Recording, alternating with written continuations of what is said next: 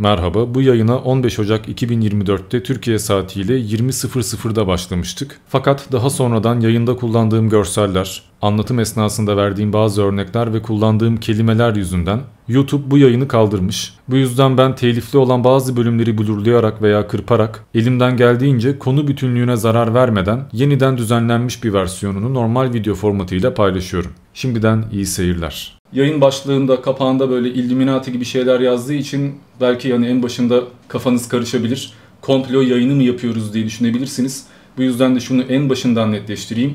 Son olaylar gösterdi ki direkt Illuminati adında gizli bir güç var mıdır yok mudur orası tartışılsa da Illuminati'ye atfedilen bazı olaylar gerçekmiş. Zaten bunu yayın boyunca daha iyi anlayacaksınız. Ve şunu da söyleyeyim olayla ilgili kimsenin bir bilgisi yok aslında. Çünkü çok bir bilgi verilmiyor. Fakat bolca hipotez var. Herkes bir teori uydurmuş. Bu yüzden de hani size bu videoda dünyanın sırrını verecek değilim. Yalnızca derli toplu bir şekilde konuyu açıklamak istiyorum. Hani gidip bir hafta sabahtan akşama kadar haber, dosya falan açıklama karıştırmaktansa en azından 2 saatlik bir yayınla yeterli bilgiyi alın diye uğraşıyorum. Yoksa istihbaratçı falan değilim. Yani bir yere kadar bir şeyleri bilme şansım var. Behlül Can Adin desteğin için sağ ol kardeşim. Bu yüzden siz de lütfen her duyduğunuza inanmayın çünkü herkes kafasına göre liste paylaşıyor. Türkiye'den 2000 çocuk kaçırılmış, İtalya'dan 3000 kişi gitmiş, şu kişi de işte şu örgüte üyeymiş vesaire. Yani Epstein'la adaya gidenlerin arasında şu da varmış, bu da varmış. Herkes keyfine göre birkaç tane isim ekleyip liste paylaştığından nasıl olsa hani olay gündemde birçok kişi kontrol bile etmeyecek hemen paylaşacak diye düşünüldüğünden ortalık harbiden uydurma haber kaynıyor ve hiçbir kaynak yok, hiçbir belge yok, hiçbir ciddiyet yok. Sadece iddialar var. Bu yüzden de iş bu tür böyle gündeme dair olayları incelemek olduğunda gerçekten de sosyal medya bir çöplükten ibaret. O kadar çok yalancı, o kadar çok provokatör, o kadar çok sırf etkileşim almak için bir tarafından haber uyduran tip var ki nereden tutsan elinde kalıyor. Ben yardımcı olması için dava tutanaklarını açıklamaya ekledim arkadaşlar. 943 sayfalık bir arşiv var burada. Bunlar halka açıklanmışlar. Hani saçma sapan paylaşımlardan bir şeyler öğrenmeye çalışacağınıza direkt istiyorsanız dosyaları da okuyabiliyorsunuz. Ama diyelim ki İngilizceniz yok, hani anlamıyorsunuz, problem değil. En kötü Google Translate'e atarsınız. Yarım yamalak bile çevirmiş olsa emin olun yine de bu böyle internette bulacağınız sahte video ve söylentilere inanmaktan daha iyi olacaktır. Bu yüzden de şu bilgilendirmeyi en başından yapayım ve artık kısaca durum neymiş bunu bir özetlemeye başlayayım. Zaten yayın boyunca daha ayrıntılı bir şekilde ilerleyeceğiz. Şimdi Jeffrey Epstein diye bir adam var. Epstein diyen var, Epstein diyen var. Ben Epstein diyeceğim. Böyle alıştım. İsteyenler başka şekilde de telaffuz edebilir. Bu adam gündem oldu biliyorsunuz. Zaten bunun hani bir davası vardı süren. Adam 2019'da hakkın rahmetine kavuşmuştu ama son günlerde bir daha gündeme geldi ve görünen o ki bu adamın kendine ait olan bir adasında adeta hani çocuk pornosudur. Hatta iddialara göre işkenceyle çocuk öldürme, insan avı yapmadır ve bunu bazı VIP zenginlere izlettirmedir ne bileyim. İçinde çeşitli devlet başkanlarının, ünlü şarkıcıların, hatta Hollywood oyuncularının bile bulunduğu gizli bir gruba illegal şovlar yahut cinayetler sergilettirmedir. Her türlü halt yapılıyormuş. Bu adam da bu işin başını çekiyormuş. Yani kaç tane zengin varsa, kaç tane star varsa bu adam bunlara çocuk pazarlıyormuş. Ki gazeteci Julie Brown sadece adada yaşananları değil, günlük hayatında da mağdur ettiği 80 kadar kurbanın kimliğini tespit etti. Ve her gün davaya dair yeni bir şeyler öğreniyoruz. Akıl almaz şeyler var. Ki bu tür şeylere dair daha önce de birçok dizide veya filmde çeşitli spoilerlar verilmişti. Ama malum hani günümüzde o kadar çok komplo teorisi dolaşıyor ki etrafta. Bunların bütün ciddiyeti kaybolduğu için insanlar ya he falan deyip geçiyordu. Ben de bunlardan biriyim elbette. Her duyduğuma inanamam. Ama şöyle bir gerçek de var. Eğer bir şeyi gizlemek istiyorsanız bunu özellikle insanların gözüne sokarak yapmanız daha doğru olur. Konuyu o kadar ele ayağa düşüreceksiniz ki hatta yapılan iş birse onu öyle bir 5-10 gibi anlatacaksınız ki insanlar bir süre sonra ya saçmalamayın kardeşim o kadar da değil diyerek gözlerini kapatacaklar. Zaten komplo teorilerindeki en büyük problem de bu. Mesela dünyayı yöneten gizli bir küresel güçten yahut işte çok zengin ve artık hayattan zevk alamadığı için keyfince insan katleden bir gruptan bahsettiğiniz zaman ya da Illuminati falan dediğiniz zaman birçok kişi belki bunu en başında makul bulsa da devamında o kadar çok ayrıntı, o kadar çok yan teori üretiyorlar ki artık bu inanılmayacak bir noktaya geliyor. Mesela Illuminati diyorsunuz hemen ardından dünyayı yöneten reptilyanlardan yani yer altında yaşayan ayrı bir ırktan falan da bahsediyorlar. Hatta Biden'a kadar birçok lider esasında maske takıyor. Bunlar insan değiller, bunlar sürüngenler, başka bir uzaylı ırklar, dünyayı uzaylılar yönetiyor falan diyorlar. Ya da Agartha denilen bir uygarlık var buzul bölgesinde ve bütün savaşları bunlar çıkarıyor. Kimin ne zaman öleceği, ne zaman teknolojik bir atılım yapılacağı, kimin ünlü olacağı vesaire her şeyi bunlar planlıyor. Covid'i de bunlar çıkardı, depremleri de bunlar yapıyorlar. Ay'a zaten hiç gidilmedi, NASA komple yalan söylüyor. CERN'ün gerçekte bir şey keşfettiği yok, bunlar tamamen göz boyama. Dünyada esasen düz zaten öyle geoid falan değil. O kadar çok şey söylüyorlar ki. Ola ki bir iki tanesi hafiften mantıklı gelecek olsa hemen diğer bu tezler yüzünden bullshit deyip geçiyorsunuz. Bu sebeple ben bu yayında hani konuyu çok fazla dallandırıp budaklandırmak istemiyorum. Öyle 51. bölgeye veya Atlantis'e kadar gitmeyeceğim. Biz bu yayında direkt şu dünyayı yöneten gizli küresel gücü konu alacağız.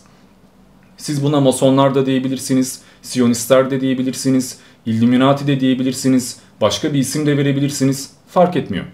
Ve şunu da söyleyeyim, konuya dair dediğim üzere o kadar çok asparagas haber var ki öyle sizin her gördüğünüzü de söz konusu etmeyeceğim. Çünkü çoğu ya uydurma ya kaynağı belli olmayan tıklama tuzağı haberlerden ibaret ya da atıyorum 2015'te İspanya'da çocuğunu döven bir babayı bile aha işte adadan sızdırılan görüntüler diye paylaşan tonla tip var. Haliyle dikkatli davranmak zorundayız ve bu yüzden de biz en başından başlayacağız. Olayın geçmişini bir öğreneceğiz ki artık neye inanıp inanmayacağımıza hep beraber karar verelim. Şimdi dediğim üzere yayın başlığını Illuminati falan koyduk ama Illuminati'yi boş verin. Bize söylenen neydi bu grupla alakalı? Çok zengin bazı iş adamları veya istihbarat liderleri belli aralıklarla toplantılar düzenliyorlar ve bu toplantılarda dünyanın geleceğine karar veriyorlar. Yani aslında seçimi kimin kazanacağı, hangi ülkede darbe veya devrim yapılacağı ya da tıbbın ne kadar gelişeceği, hangi hastalığa çare bulunacağı hep bunların elinde. Mesela bunlar kanserin çaresini de çoktan buldular ama insanlarla paylaşmıyorlar.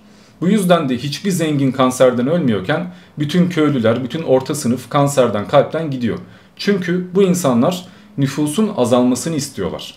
Ya da bir şarkıcı yahut bir oyuncu ünlü olacaksa bunlar ünlü ediyorlar.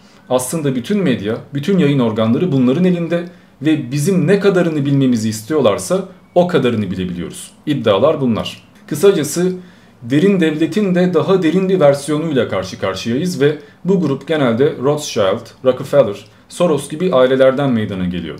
Coca-Cola'dan tutun McDonald's'a kadar yiyip içtiğimiz hemen her şey, bütün fabrikalar, bütün sektörler bunların kontrolünde. Hatta iPhone'lar, bilgisayarlarımız, konum bilgilerimiz, evde kendi aramızda döndürdüğümüz sohbetler, her şeyi bu adamlar an be an izleyebiliyorlar eğer isterlerse. Her şeyimizi dinliyorlar, her şeyimizi biliyorlar. Adeta bilinçaltımıza oynuyorlar ve biz fark bile etmeden modayı, yaşam tarzımızı, neyi sevip sevmeyeceğimizi her şeyi onlar planlıyorlar. Bu yıl ne moda olacak? SJW'luk veya işte eşcinsellik ya da feminizm, bilmem hangi akım bunlar ne kadar fonlanacak, ne kadar gündeme gelecek, ne kadar propaganda yapılacak? Her şey bunların keyfine kalmış. Canları isteyince birini vezir de yapıyorlar, rezil de yapıyorlar. Yani halk ağzıyla söylersek gerçekten de dış güçler bir takım oyunlar oynuyorlar. İddialar bunlar. Hatta dini inancınıza kadar müdahiller bunlar.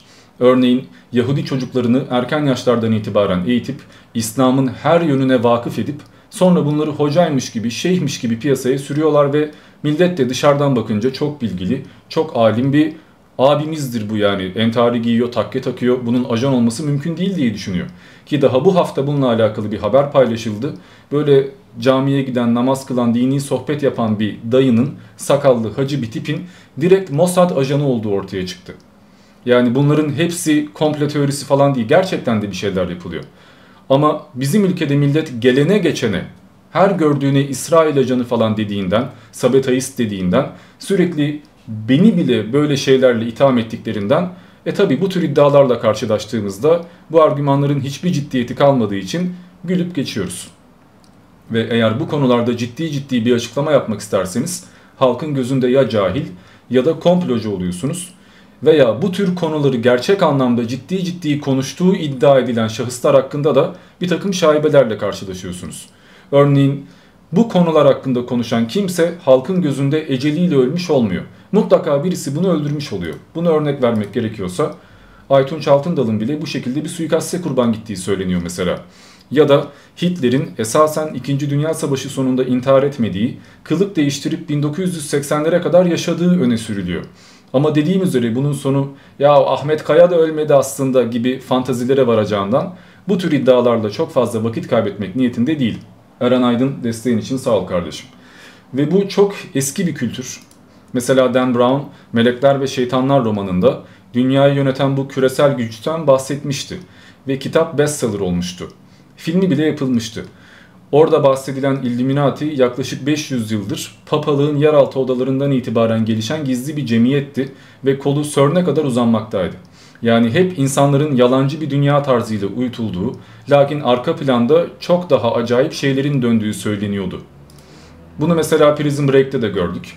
Orada The Company dediğimiz bir şirket var ve bu şirket başkanların atanmasından tutun hapishane müdürlerine kadar adeta bütün dünyayı yönetiyor. Herkesi parmağında oynatıyor. Hatta sizin bir komşunuz bile bu cemiyetin bir üyesi çıkabiliyor. Ve en ufak bir ifşaatta hemen fişinizi çekiyorlar. Yani en yakınındakine bile güvenemiyorsun. Bu grup ajanlardan öğretmenlere kadar her kesimi bir şekilde ağına düşürmeyi başarıyor. Ya insanları kendine borçlu hale getiriyor ya da zaten zengin ve güç sahibi olduğu için bu gücü kullanmak isteyen bazı gruplar bunlarla beraber yürüyorlar. Bla bla bla. Bu teoriyi yine Netflix dizilerinde bile gördük. Örneğin Atiye'de çoğunuz biliyordur. Gizli sırlar peşinde koşan ve keyfince milleti öldürebilen, adeta devletten bile daha üstün bir anonim gruptan bahsediyorlardı. Ve bunların da amacı kıyameti getirmek, ne bileyim diğer evrenlere açılan boyutları keşfetmek yahut ikinci sezonda da gördüğümüz gibi insanları kısırlaştırarak özellikle de avam kesimin yani halkın kökünü kazımak, nüfusu azaltmak. Kısacası yine bir kısırlaştırma teorisiyle karşılaşıyoruz. Bununla beraber yine House of Cards dizisinde de Amerikan başkanı olmaya oynayan Kevin Spacey'in devletin üst kademelerine geldikten sonra özel bir ritüele katıldığını görüyoruz. Millet maskeler takıyor, kukuletayla geziyor, cübbeler giyiyor. Adeta masonik ritüeller düzenliyorlar.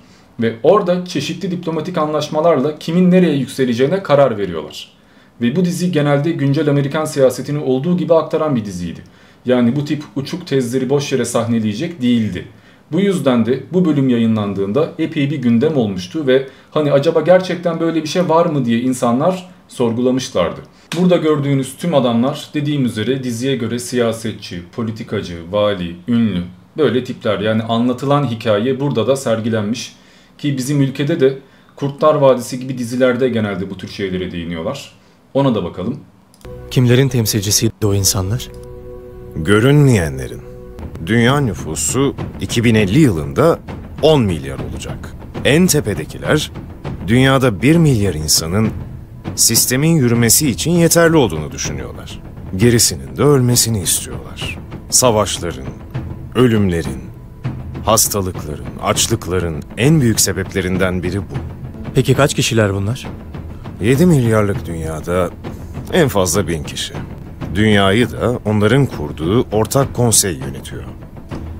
Evet, şimdi birkaç tane dizi veya filmde böyle şeylerin gösterilmiş olması elbette bunların gerçek olduğu anlamına gelmez. Neticede bunlar kurgudur, romandır, senaryodur falan diyebiliriz. Konu ilgi çekici olduğu için böyle şeylere yer vermişler de diyebiliriz. Ama görüyoruz ki bunlar gerçekmiş. En azından bir nebze bir doğruluk payı var. Ve bu diziler az da olsa ya bunları ifşa etmek istemişler ya da arka plandakiler tamamen gizli kalamadıkları için artık kontrollü bir şekilde böyle bir takım tezleri zırt pırt gözümüze sokarak bütün ciddiyetini azaltmak istemişler. Ya ben çok farklı bir ihtimal göremiyorum burada. Kaldı ki tek örneğimiz bu diziler falan da değil. Zira bu dış güçler söylemi ta Erbakan'la ivme kazanmıştır ve o günden beri sürdürülmektedir. Zira insanlar ya bu devletin başına gelebilecek kadar yükselmiş olan bir adam bile Illuminati'den bahsediyorsa demek ki gerçekten de bir şeyler varmış diye düşünüyorlar haliyle. Göstereyim. Dünya yapısında 350 seneden beri Siyonizm dünyaya hakim olmuştur ve Birleşmiş Milletler Siyonist kuruluştur. IMF Siyonisttir, Dünya Bankası Siyonisttir. UNICEF Siyonisttir, Dünya Ticaret Teşkilatı Siyonist Teşkilattır. Bunların hepsi Siyonizmin kontrolündedir. Birçok ülkeleri sömürürler. Biz de bunlardan bir tanesiyiz. Bu teşkilat, dünyayı idare eden teşkilat budur. Bu teşkilat 3 bölümdür. 13 kademedir. Kim bunlar? 300'ler kulübü. 300 tane dünyanın en zengin siyonisti. Bunlar her gün çiftleri internette konferans yapıyorlar. Tayyip'i Türkiye'de iş başta tutalım mı tutmayalım mı? Kararı onlar veriyor. Pakistan'da yeniden seçim yapalım mı yapmayalım Kararı onlar veriyor. Think tank meseleleri var. Raporları alıyorlar. Aralarında konuşuyorlar.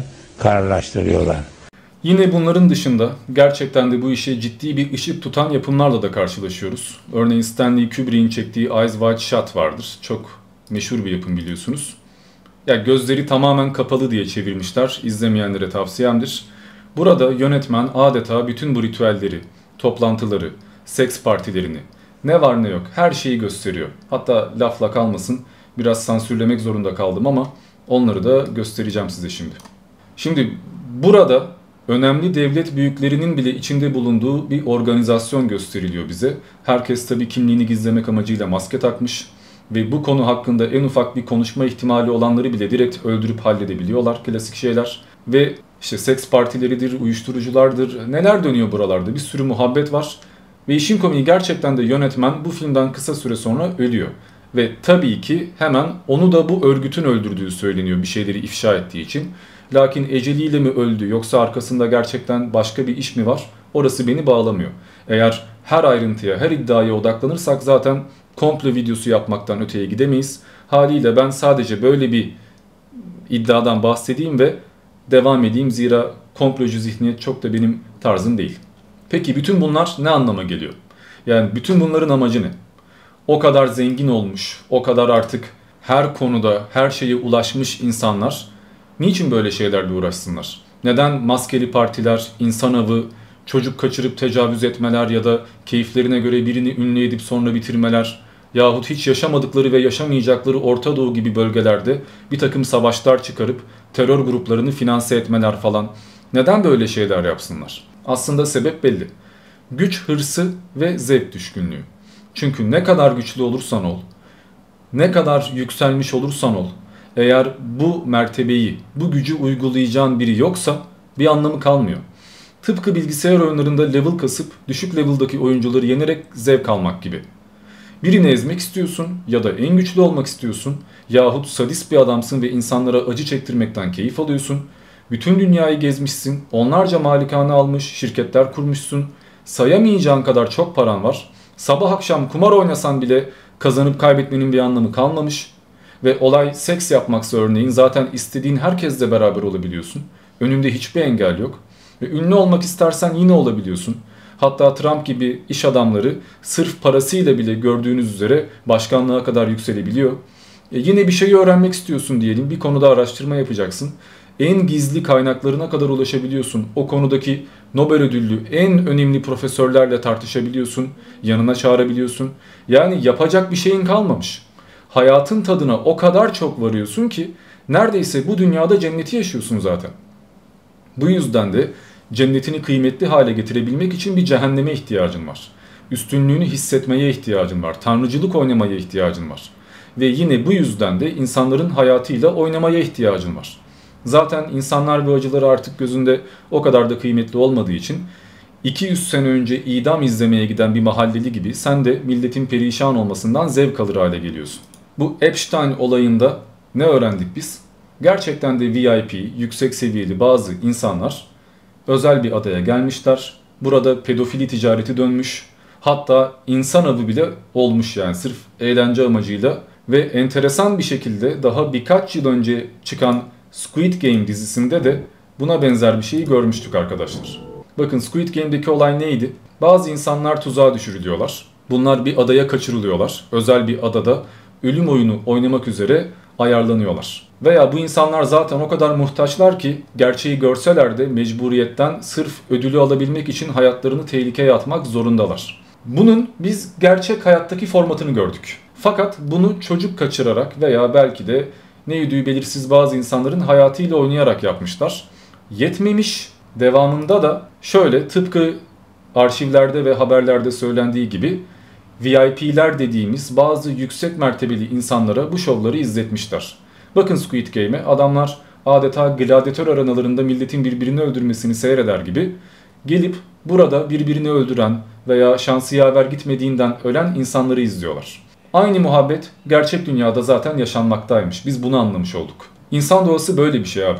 Ya hepimiz vahşi doğadan geldik. Hepimiz binlerce yıl boyunca hem hayvanları hem de birbirimizi katlettik. Ne bileyim binlerce kişiyi öldüren insanlara kahraman dedik, savaşçı dedik. En iyi kılıç kullanıp en iyi kasaplık yapanı baş tacı ettik. Ya da insan haklarını yasalaştırmadan evvel binlerce yıl boyunca köle sahibi olduk. Kesilen kellelerden kuleler falan yaptık. Yani genlerimizde var bu. Her ne kadar şu an modern bir dünyada yaşasak ve neredeyse çoğumuz kan görse bayılacak kadar zayıflamış olsa da aslında insan dediğin şey yırtıcı bir hayvan. Bunu şuradan bile anlayabilirsiniz.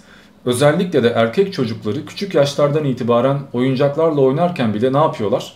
İki tane süper kahramanı kavga ettirip, kolunu bacağını koparıp, kırıp bir şekilde zarar veriyorlar değil mi? Kavgadan, dövüşten keyif alıyorlar. Ya da oyuncak tabancalarla birbirini vuruyorlar. Hırsız polis oynuyorlar. Yahut iki tane dövüş filmi izleyince gaza geliyorlar, kavga ediyorlar. Hatta büyüdükleri zaman bile bu böyle. Counter Strike gibi, PUBG gibi oyunlarla millet bilgisayarda birbirini vuruyor. Bundan keyif alıyor. Ne kadar çok kişiyi vurursa, ne kadar uzun süre hayatta kalırsa o kadar haz alıyor bundan. Yani biz yıkmaktan keyif alıyoruz. Hatta önce kurup sonra yıkmak daha da bir haz veriyor. Mesela 2 saat boyunca İskambil'den bir ev yapıyorsun. Ondan sonra bir tekme koyup yıkıyorsun bunu. Çünkü bir daha yapacaksın.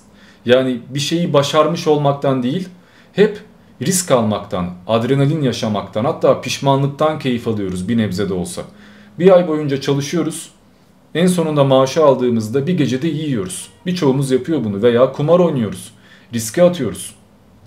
Bu vahşiliği halen daha içimizden atamadık ve birçok erkeğin eline gereğinden fazla kuvvet geçerse ve bu gizlilik hissi, adrenalin, tanrıcılık oynamak bu gibi ihtimaller eğer önünde açılırsa 10 kişiden 9'u zaten Hitler olmaya müsait bence. Ki gördüğümüz kadarıyla bu zaten bütün bu ağır toplarda var. Örneğin size Epstein adasında neler yaşandığına dair paylaşılan listeyi örnek gösterebiliriz size. Bunun ne kadarı doğrudur, ne kadarı yanlıştır bunlar hala tartışmalı ama görüldüğü kadarıyla gerçekten de az önce gösterdiğimiz Kevin Spacey ya da Leonardo DiCaprio hatta Richard Dawkins gibi adamlar falan Jetlerinde fotoğrafları var zaten Epstein'in. Noam Chomsky gibi filozoflar bile. Birçok kişi bu adayla alakadar. Yahut hemen videosuna geçelim.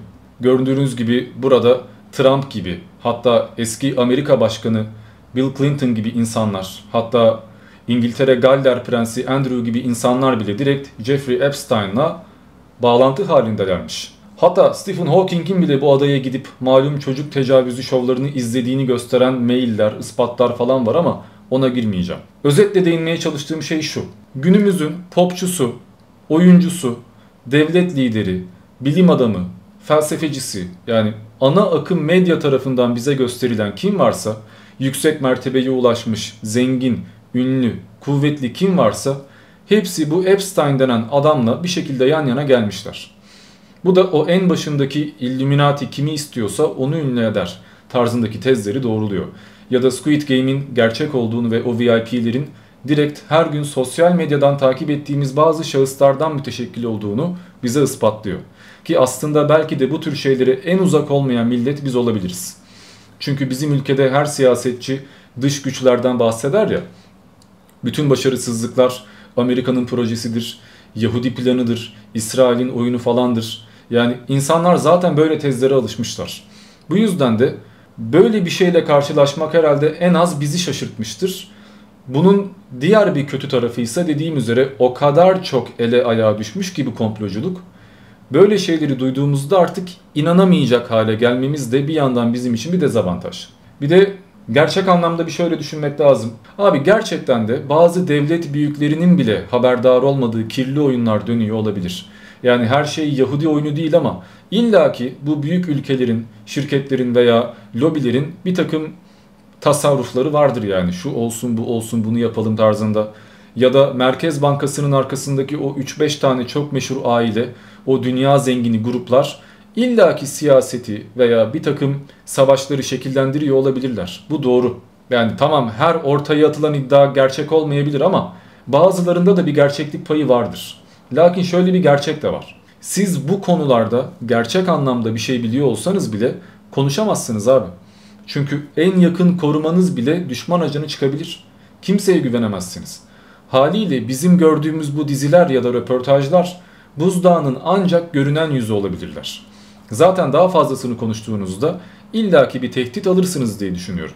Ve dikkatli bakarsanız özellikle FBI ya da CIA gibi kuruluşlardan emekli olan kimi ajanların yazdıkları bazı kitaplar niyeyse hiçbir zaman bestseller olmuyor.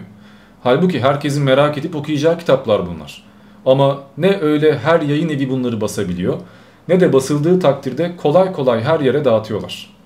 Zaten bunlar o kadar çok itibarsızlaştırılmışlar ki artık biz de bu tür kitaplar gördüğümüzde ya gündeme gelmek için hikaye uyduruyorlar işte falan deyip geçiyoruz. Yani biz de güvenmiyoruz. Halbuki içinde belki gerçek anlamda hakikati yansıtan bir sürü bilgi olabilir. Ama arada güme gitmek zorunda. Bu da demek oluyor ki aslında bizim sağdan soldan bulup okuyabildiğimiz o kitaplarda yazan şeyler bize hakikati tam anlamıyla yansıtamıyorlar. Bu sebeple ne ben ne de benim gibi bu konu hakkında yayın yapmış olan ya da yapacak olan hiçbir yayıncı size öyle gizli bir sırrı ifşa edemeyecek. Çünkü bizim de bir şey bildiğimiz yok. Zaten bilsek de konuşamazdık. Dediğim üzere temizlerlerdi. En azından böyle olması daha sisteme uygun olurdu. Olayı anladınız bence. Para içinde yüzen bazı devlet büyükleri var, ünlüler var ve bunlar heyecan arıyorlar. Gizli bir şeyler yapmak istiyorlar, yasaların üstünde olduklarını hissetmek istiyorlar. Birçok film ve dizi zaten bizi bunu uyandırmaya çalışmış yıllarca ve bunun da gerçekten yaşandığına şahit oluyoruz. Ama bunlar sadece birkaç iddiadan ibaret kalmadılar elbette. Gördüğünüz gibi hani burada 943 sayfayı tutan bir raporla karşı karşıyayız. Ve bu sadece bize açıklanmış olan versiyonu. Arka planda acaba neler var? Yani bizim bilmemiz istenmeyen daha ne bilgiler var Allah bilir. Bu yüzden de siz bence hani internetten haber sitelerine veya 5-10 dakikalık bütün sırrı açıkladığını iddia eden komik videolara bakmak yerine direkt şöyle arşivlere en azından resmi olan açıklamalara bakarsanız bence daha faydalı olacaktır. Hiç değilse ben böyle düşünüyorum ve ben böyle yapmaya çalıştım. Şimdi bu Epstein kimdir? Bağlantıları neler? Nasıl bu noktaya ulaşmış? Biraz da buna bakmak lazım. Bu adam 1953'te New York'ta doğmuş bir Yahudi. Annesi ev hanımı, babası da New York'taki park ve bahçelerde çalışan bir işçi. Yani öyle çok zengin, ensesi kalın, yüksek makamlardan gelen bir vatandaş değil. Hatta üniversite diploması bile yok. Ha okumuş, başarılı bir adammış ama mezun olmamış ve buna rağmen nasıl oluyorsa öğretmenlik falan yapmayı başarmış. Hatta bankacılık da yapmış ve kısa bir sürede multimilyoner olmuş. Yani o kadar kısa sürede yüz ömürlük parayı nasıl kazandı diye sormanın herhalde şu an bir anlamı yok. Belli ki bu cemiyet arkadaşı değerlendirmek istemiş.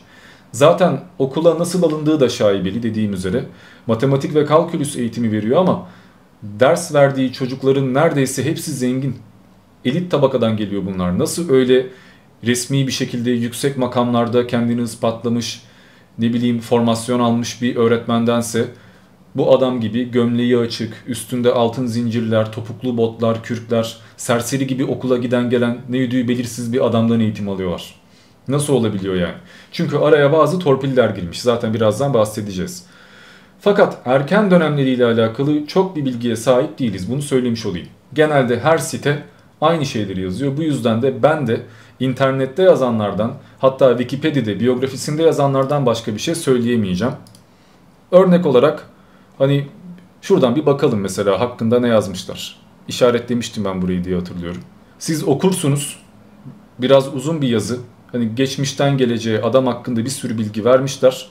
Ve burada da bu adamın hani New York'taki seçkin Dalton School'da eğitim verdiği, matematik öğretmeni olarak başladığı, 1970'lerde falan da Bear Stearns Yatırım Bankası'nda çalışmaya başladığı, Hatta 1982'de kendi şirketi olan G. Epstein Co.'yu kurduğu ve hizmetlerini de özellikle bakın yazıyor zaten hep böyle 1 milyar doların üzerinde bir serveti olan çok zengin olan insanlara verdiği yani sadece zenginlerle çalıştığı söyleniyor.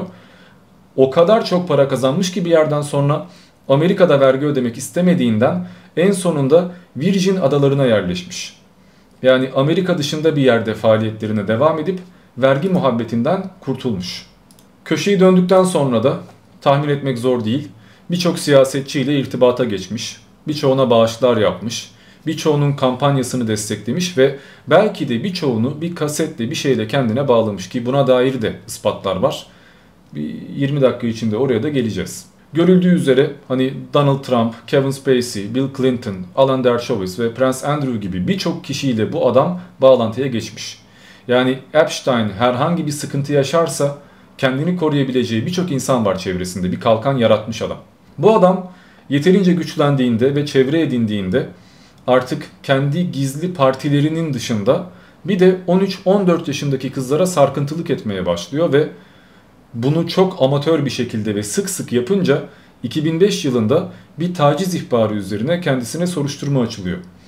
Ve soruşturma sonrasında ise Florida Eyalet Mahkemesi tarafından 30 Haziran 2008'de biri 18 yaşından küçük olmak üzere iki genç kızı fuhuş amaçlı istismar etmesi sebebiyle 13 ay boyunca hapis yatıyor. Şimdi bu kadar güçlü bir adamın dümdüz hapse girmesi biraz şaibeli değil mi? Çünkü istese olayı kapatabilir ya da aileyi korkutabilir, rüşvet verebilir, araya adam sokabilir, ne bileyim her şekilde sıyrılabilir. Ama demek ki bu adam sadece aracılık yapıyormuş. Yani öyle ensesi kalın tiplerden değilmiş.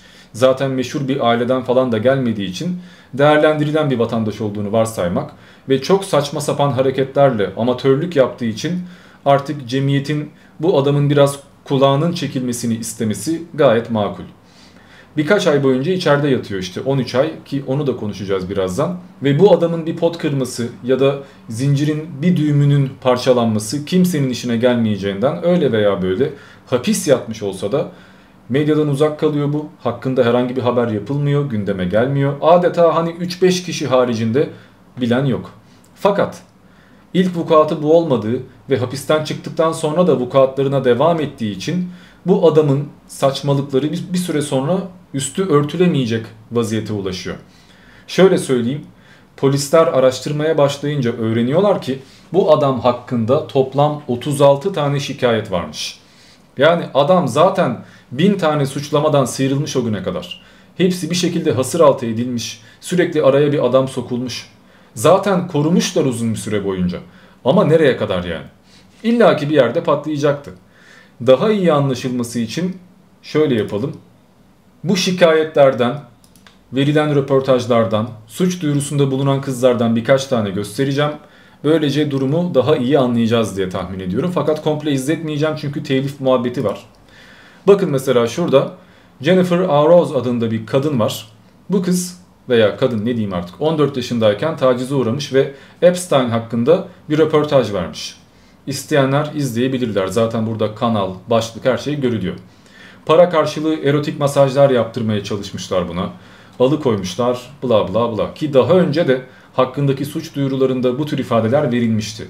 Yani sadece bu kadın söylemiyor veya birazdan göstereceğim 5-10 tane insandan ibaret değil bunlar.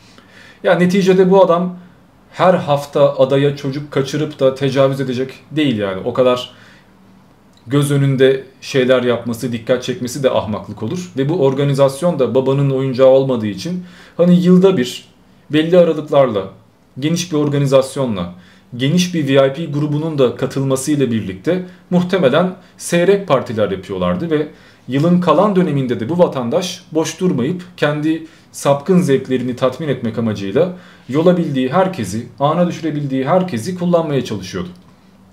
Buna dair de şöyle 45 dakikalık bir belgesel var. Yine izlerseniz epey yardımcı olacaktır. Ben burada her şeyi baştan sona uzun uzadıya anlatamayacağım çünkü yoksa video 10 saate falan çıkar. Hatta Netflix'te falan da Epstein File diye bir 5-6 bölümlük belgesel var. İzlemeyenleri onu da tavsiye ederim. Bayağı kapsamlıdır. Fakat bu belgesel tabi güncel bu muhabbetlere değinmiyor. Adamın sadece kendi özel hayatındaki sapıklıklarına değiniyor ama o bile yeterli yani. Yine şurada da hem bir haber hem de ekstra yazılmış yazılar var. Burada ada hayatı için değil ama şehir hayatındayken eve masaj veya seks amacıyla getirdiği genç kızlarla alakalı bir takım yöntemlerden bahsediliyor. İşte kimleri mağdur etmiş, hangi yollardan bunu başarmış ve verilen bilgilere bakıldığında özellikle de yaşı küçük olanları seçmesi, paraya muhtaç olanları tespit etmesi, uyuşturucu bağımlılarını kullanması, insanların zayıflıklarından onları vurması, hatta şantajla, tehditle bir şekilde kendi ağına düşürmesi ve bazılarının da lüks ve şatafatla gözünü boyaması net bir şekilde aktarılmış. Ki bunlar zaten bildiğimiz şeyler. Ve bütün bu kızları kendisi içinde kullanmıyor. Dediğim üzere bu adam bu ufak yaştaki çocukları bir kısmı da erkek önemli makamlardaki bazı insanlara pazarlıyor. Yani böyle bir sektör yaratıyor. Aha bu da direkt seks ticaretiyle alakalı paylaşılmış olan belgelerin 14 sayfalık bir bölümü. Aslında bütün bunlara ayrıntılı bir şekilde bakılabilir, baştan sona okunabilir. O 900 sayfalık arşivle beraber sadece bunlar üzerine bir yayın daha yapılabilir. Ama bu yayın esnasında bunlarla çok fazla kafa karıştırmak istemiyorum. Zaten eğer ilgi olursa merak ederseniz hepsine tek tek başka bir yayında bakarız. Yine devam edersek Virginia Giuffre adında bir hanımefendi var. Bunu da e, Prince Andrew'a pazarlamaya çalışmışlar. 15 bin dolar teklif etmişler. Onun da verdiği röportajlar var. Yetmiyor. Joanna Sjöberg adında başka bir hanım da 18 yaşından küçükken ağlarına düşmüş. Ve Clinton'a pazarlamak istemişler. Pazarlama kelimesi için kusura bakmayın ya ne diyeceğimi bilmiyorum. Sunmuşlar desem o da olmayacak. Siz anlayın yani dediğim şeyi. Ve bununla beraber başka bir mağdur daha var. Onu da göstereyim size. Devam ediyorum. Yine partiye katılan veya konuyu bilenlerden biri de kimliğini gizleyerek bir yıl önce bir röportaj vermiş. Ha, maske taktığı için belki sahtedir, kurgudur, projedir falan diyenler çıkabilir ama bunu yayınlayan kanal Vice arkadaşlar. Yani YouTube'da 18 milyon takipçisi olan ve zaten formatı bu türden kimliğini açıklayamayacak olan insanlara insanları davet ederek onlara önemli bir takım röportajlar verdirmek, bir takım bilgileri almak. Yani itibarlı bir kanaldır, isteyenler bakabilir. Ve bunların çoğunun arkasında göründüğü kadarıyla bu adamın sevgilisi var. Ki o da Ghislaine Maxwell. Kendisi de bir Yahudi tıpkı bu adam gibi ve hatta ailesi Hitler'in o holokostundan sıyrılıp gelmiş, Amerika'ya yerleşmiş. Dolayısıyla kendince bir ölçme alıyor anlamadım ama hani İkisi birlikte yürütüyorlar bütün projeyi. Bu kadın da ensesi kalınlardan biri ve bu da sapığın teki. Zaten ileride de 20 yıl hüküm yiyecek. 2020 yılında bu kadına bu muhabbetler yüzünden 20 yıl hapis cezası verecekler. Zaten bunları konuşuruz. Ve bunların dışında tabi sadece sevgilisi de değil. Adeta bütün sülalesi, bütün etrafındaki herkes adama yardımcı olmuş. Örneğin Sarah Callan adamın ikinci pilotu. Bu kadın şu gördüğünüz sol tarafta sarıldığı kişi küçük çocukları alıştırma, eğitme konusunda yardım vermiş. Artık nasıl bir eğitim verdiğini veya ne konuda eğittiğini ben söylemeyeyim yoksa video yasaklanacak. Ben child grooming diyeyim siz anlayın yani. İğrenç iğrenç şeyler. Ve bunlar öyle boş beleş iddialar değil. Tekrar hatırlatmış olayım.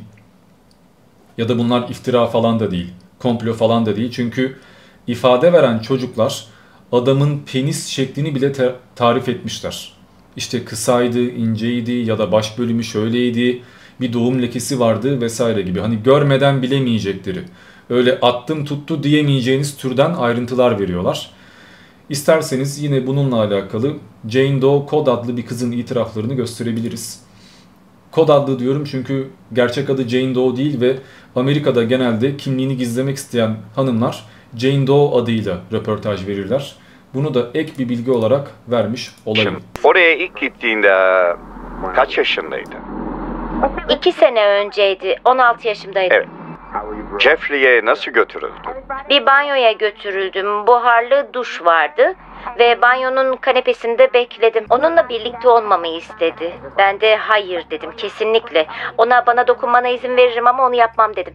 Ayrıca adamın özel bölgesinde çok dikkat çekici bir şey olduğunu söyledi. Sanki bir doğum kusuru var. Yani ne olduğunu bilmiyorum da garip şekilli bir şeydi. Devam edersek Ruslana Korshunova diye bir kız var. 2005 yılında 17 yaşındayken adaya gitmiş ve manken olmak isteyen biriymiş. Ki olmuş da gördüğünüz gibi zaten güzel bir tip. Lakin bu kız 2008 yılında intihar ediyor. Ve şu son açıklanan dosyalarla beraber artık acaba bu gerçekten intihar mıydı yoksa kız bir şeyleri ifşa etmek istedi, dayanamadı, kaldıramadı da onu da mı temizlemişler diye soruluyor. Ki bu şekilde daha yüzlerce örnek var ama bence hepsine değinmeye gerek yok. Ve bu olay neden şu anda patladı? Madem 20-30 yıldır bu muhabbet devam ediyormuş, öyleyse niye daha önce ifşa olmadı diye soranlar var. Bir kısmını zaten az önce anlattım. Kalan kısmını da anlatmaya devam edeceğim. Dikkatli dinlerseniz eğer cevabını alırsınız arkadaşlar. Toparlarsak durum şöyle. Bizim Adnan Oktar muhabbeti var ya hani. Geçenlerde patlak verdi. Adamın suç örgütü ifşa edildi. Zaten hapse girdi. Sonra itirafçılar çıktı, belgeseller yapıldı falan. Adam gençleri ana düşürüp basbayağı şantajla, tehditle, kasetle bir şekilde kölesi yapmış. Kendine bir harem kurmuş. İşte Epstein'in yaptığı da bunun global versiyonu. Ve çok daha küçük yaşlardaki insanları kullanıyor ve kendisi için değil aynı zamanda başkaları için de bunları kullanıyor. Satıyor diyelim. Adam çarpık bir haremle yetinmiyor. Adeta böyle bir sektör yaratıyor. Ve bununla beraber iddialara göre eğlence olsun diye o adada insan avı veya kurbanı falan da yapmışlar. Ki bu 900 sayfalık raporda hatta ek bir ayrıntı olarak söyleyeyim iki tane Türk'ün adı geçiyor. Yani as bayrakları as diyeceğim de asacak bir durum yok. Adeta rezalet bir muhabbet var. Bu Türklerin isimleri soy ismi açıklansa da ben soy ismini söylemeyeceğim, kod diyeceğim. Ne olur ne olmaz belki hani yasak falandır. Bir tanesi Banu K, diğeri de Turabi F. Banu K göründüğü kadarıyla hani Prens Andrew'un emlak danışmanıymış. Yani mağdur falan değil. Ve 2001 yılında Epstein adasına gitmiş. Ayrıca bilmem hangi yılda Türkiye güzeli olduğunu da söylüyorlar. Böyle haberler de okudum. İsteyenler bakabilir. Diğer isim olan Turabi F ise yine mağdur değil. Muhtemelen bağlantılı bir çalışan artık garsonluk mu yapmıştır, şoförlük mü yapmıştır bilmiyorum hakkında çok bir şey bulamadım. Ve bu arada şöyle bir ayrıntı da var. Bu adam yani Epstein en son 13 aylığına hapse girmişti ya hani lafta. Hapis gibi değil o. Çünkü adam haftanın 6 günü günde 12 saat dışarıya çıkabiliyor. Günde 12 saat boyunca adam serbest. Ve hapiste de kendi televizyonu var, bilgisayarı var, kendi odası falan var, hizmetçileri var adeta otel gibi kullanıyor. Yani hapishanede kalması tamamen göz boyamaktan ibaret. Dikkat çekmemek için yapılan bir şey. Ve sonrasında da sözde göz hapsi şartıyla serbest bırakıyorlar ama nasıl bir göz hapsi ise bu adam göz hapsi esnasında özel jetiyle bin defa bir oraya bir buraya yurt dışına her yere seyahat ediyor. Yine 90 günde bir ifade vermesi lazım. Buradayım işte burada ikamet ediyorum şeklinde yer beyanında bulunması lazım ama Buna rağmen 10 yıl boyunca bunu da yapmamış ve kimse peşine düşmemiş. Kısacası her şey zaten ayarlanmış. Ki sonradan gardiyanlara ödenen 100 bin doların üzerinde bir meblağa dair de rüşvet kanıtları ortaya çıktı. Yani herkesin bir şekilde bu olayın belki bu kadar derinliğini biliyor olmasa da az bir şey farkında olduğu ve sırf para veya şantaj yüzünden adamı kolladığı belli. Haliyle bu kadar korunan, etrafında birçok devlet adamı bulunan bir vatandaşı zaten öyle bir anda harcayamazsınız. Bir baskılama operasyonu düzenlersiniz. Koruyabildiğiniz kadar korursunuz. Çünkü sizin de ifşa olmanız söz konusu. Ama eninde sonunda bir yerde bu olay patlak verecektir. Zaten birçok defa hakkında haber yapılmak istenmiş.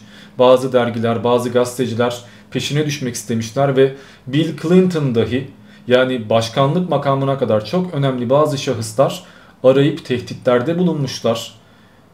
Bunu yaparsanız pişman olursunuz tarzında bir takım uyarılar vermişler. Konuyu kapatmışlar. Neyse ben devam edem. Bu adam hapisten çıkıyor ve aynı tas aynı hamam alem yapmaya devam ediyor. Fakat tek yaptığı şey bu değil elbette. Hem hapisten önce hem de hapisten sonra kime kimi pazarladıysa, kiminle ne anlaşma yaptıysa, kim kimle yattıysa hepsinin fotoğraflarını ve video kayıtlarını alıyor. Yani her şeyi arşivlemiş. Herkese karşı elinde bir koz varmış. En yakın arkadaşlarının bile adam müstehcen videolarını saklamış. Bu yüzden de bu kadar korunmuş olması bence şaşılacak bir şey değil. Zaten eğer böyle önlemler almış olmasaydı bence çok daha önce bu adamı harcarlardı. Ki biz bunları çok sonra öğreneceğiz. Yani bu adam birkaç yıl daha icraatlerine devam edecek ve en nihayetinde 2015'te bir şeyler patlak vermeye başlayacak. O süreci de kısaca özetlersek eğer 13 yaşında kızın biri kalkıp ben Trump'a sunuldum diye ifade verecek mesela. Epstein aracılık yaptı diyecek. Sonra 15 yaşında başka bir kız kalkıp diyecek ki ben de şu kişiye verildim. Beni Clinton'a pazarlamışlardı ve yine Epstein'ın orada adı geçecek. Başka biri kalkacak Prince Andrew için aynı açıklamaları yapacak ve herkes aynı adamın adını verince ortalık bir hareketlenmeye başlayacak. Zira bu herifler sadece küçük öğrencileri falan böyle oyuna getirmiyorlar. Ve bütün partileri de adada yapmıyorlar. Dediğim üzere adam 200 dolar, 300 do dolar vererek sokaktaki keşleri, evsizleri ya da kimsenin arayıp sormayacağı kızları da ayarlıyor. Birçoğu da kafası güzel veya uyuşturucudan mayışmışken kullanıldığından ayrıca kimsenin ciddiye almayacağı insanlar olduğundan bunlar evsiz olduklarından peşlerine düşülmüyor.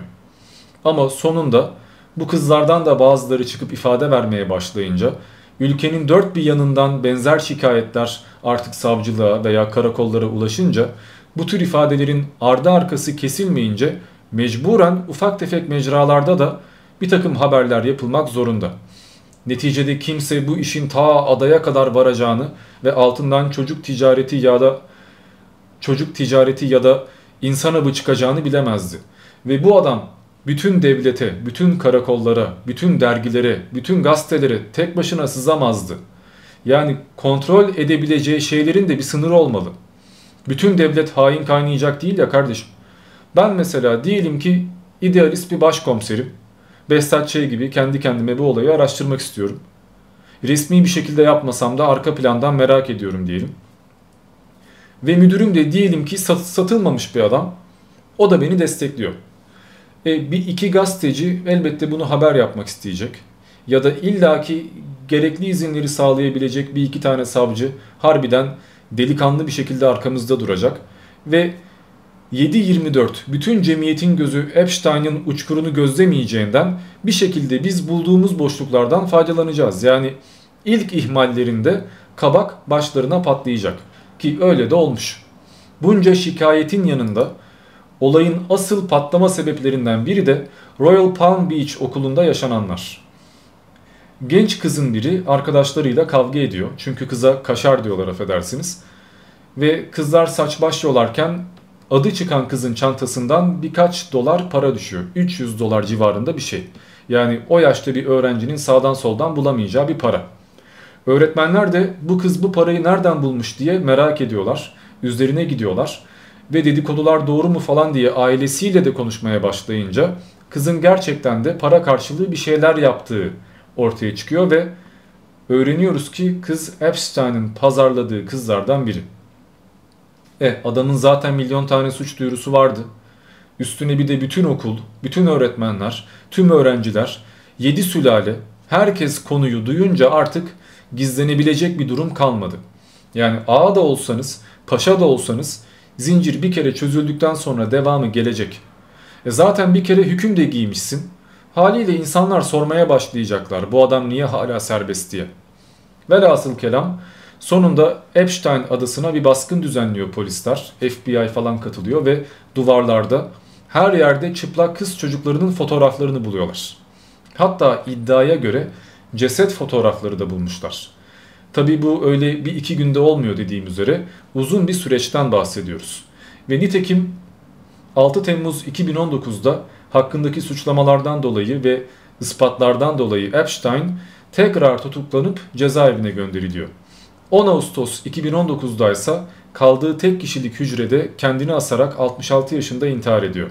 En azından medyada bu intihar diye geçiyor ve asıl kabak da bu adam intihar ettikten ya da belki de öldürüldükten sonra patlıyor.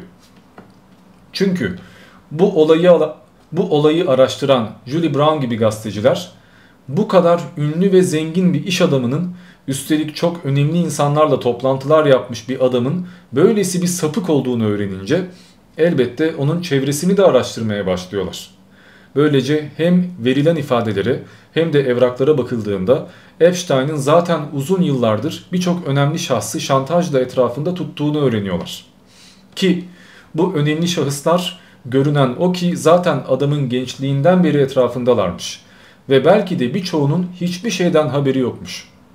Burayı daha iyi anlayalım diye şimdi filmi biraz geriye saracağım ve tekrar güncele tekrar güncele ulaşacağız. Şimdi Epstein öyle alelade bir adam değilmiş. Dediğim üzere küçükken epey zeki olduğu belli olan iki sınıf birden atlayacak kadar başarılı, zeki bir çocukmuş. Ne bileyim yabancı dil öğrenme, enstrüman çalma bu gibi konularda 5 yaşındayken bile başarılar göstermiş ve özellikle de matematikte bir dehaymış. Hani dışarıdan baktığınız zaman hiç öyle sapık veya seri katil gibi bir imaj vermiyor. Daha ufak yaşlardan bile geleceğinin parlak olduğu belli. Tabi biraz da şansı yaver gidiyor. Mesela Amerikan Başsavcısı William Barr'ın babası bu adama torpil geçiyor. Daha diploma sahibi bile olmadığı halde dediğim üzere öğretmen olarak önemli okullarda işe gönderiyor ve bir şekilde çevre edinmesini sağlıyor. Niye yaptığını bilmiyoruz. Belki onun da bağlantısı vardı bilemeyeceğiz. Bu arkadaş bankacılık işlerine girdikten sonra da dediğim üzere aracılıktır, pazarlamacılıktır. Birçok şeyle uğraştığı ve başarılı da olduğu için kaç tane zengin varsa, kaç tane ünlü, kaç tane politikacı varsa herkes de öyle veya böyle tanışmayı başarıyor. Muhtemelen cemiyetin yine burada bir katkısı olmuştur. Ve 1990'lardan sonra özellikle kendine ada alacak kadar zenginleşiyor. Halbuki o esnada tıpkı bizim çiftlik bank muhabbetinde olduğu gibi bu adamın Hoffenberg saadet zinciri denilen bir dolandırıcılıkta adı geçiyor. Yani zaten hakkında şaibeler var ama buna rağmen 92 yılında Trump'la partileyebilecek kadar da kuvvetli bir adam. Ve müşterileri arasında Victoria's Secret gibi önemli firmalar var. Yani çalıştığı firmalara bakıldığında kolay kolay yiyebileceğiniz veya her suçlandığında hemen güme gidecek, ciddiye alınacak, hemen adı karalanabilecek bir adam değil. Bu yüzden de hakkındaki onlarca suç duyurusuna rağmen rahat rahat gezinmeye, tozunmaya, keyfine bakmaya devam edebilmiş. O kadar zenginleşiyorken illaki birkaç tane ihaleyi böyle rüşvetle kazandığını, araya fesat sıkıştırdığını ya da bir takım insanlardan yine destek gördüğünü düşünmek çok da komplo teorisi olmayacaktır. Yine 2000'lerden sonra Wall Street'tekilerle yakınlık kurduğu, mankenlik ajanslarından tutun İsrail'deki yerel gazetelere ve hatta Savunma Bakanlığı'na kadar bağışlar yaptığı, yani dünyanın dört bir yanında kendini garantiye aldığı zaten görünmekte. Yani geniş bir plan var. Adam bir tek Amerika ile sınırlı kalmamış. Ve adam görünen o ki kendi otellerine ve lüks malikanelerine, bütün konutlarına gizli kameralar yerleştirip ardından da kaç tane eli kolu uzun şahıs varsa bunları davet edip bunları sarhoş edip onlara bir takım kızları pazarlayıp fahişeler ayarlayıp videolarını kaydetmiş. Böylece de muhatap olduğu hemen herkesi kendine bağlamış. Ki bunun da ispatları ortaya çıktı. Mesela Virgin adalarındaki özel ada, bütün malikane, bütün tesis tamamen kameralarla döşenmiş. Tüm bunları fotoğraflamışlar. Veya New York'taki konağının hem dışı hem içi tuvaletine kadar her yeri kamera kaynıyor ve aynı zamanda adamın bütün malikanelerinden adaya ve diğer malikanelerindeki kameralara erişimi var. Yani kim ne yapıyor an be an takip edebiliyor. Adeta sinema salonu kurmuş, canlı canlı kimin kimle seviştiğini, ne yaptığını, kimle konuştuğunu her şeyi izleyebiliyor. Ve işin kötü yanı bu milleti tuzağa düşürüp videosunu çekmekten ibaret de kalmıyor. Bazıları bundan keyif alıyor. Ve devamlı yapmak istiyorlar. Yani bize başka çocuklar da bul. Takılalım, sıkıntı yok. Hatta iddiaya göre Bize bir mekan ayarla da gidelim kimsenin arayıp sormayacağı bazı insanları öldürelim, keyfimize bakalım, avlanalım. Bize böyle hizmetler de ver diyenler çıkmış olacak ki adam bu işi özel adasında uzun yıllar boyunca devam eden bir proje haline getirmiş. Düzenli aralıklarla adaya gidip yüzlerce VIP'nin katıldığı ayinler düzenlenmiş ve dediğim üzere bu ayinlere katılan VIP'lerin listesine bakıldığında içinde bizim televizyonlarda gördüğümüz hatta birçoğumuzun hayran olduğu çok önemli isimlerle karşılaşıyoruz. Ve şunu da söyleyeyim tekrar. Bu bir zan değil.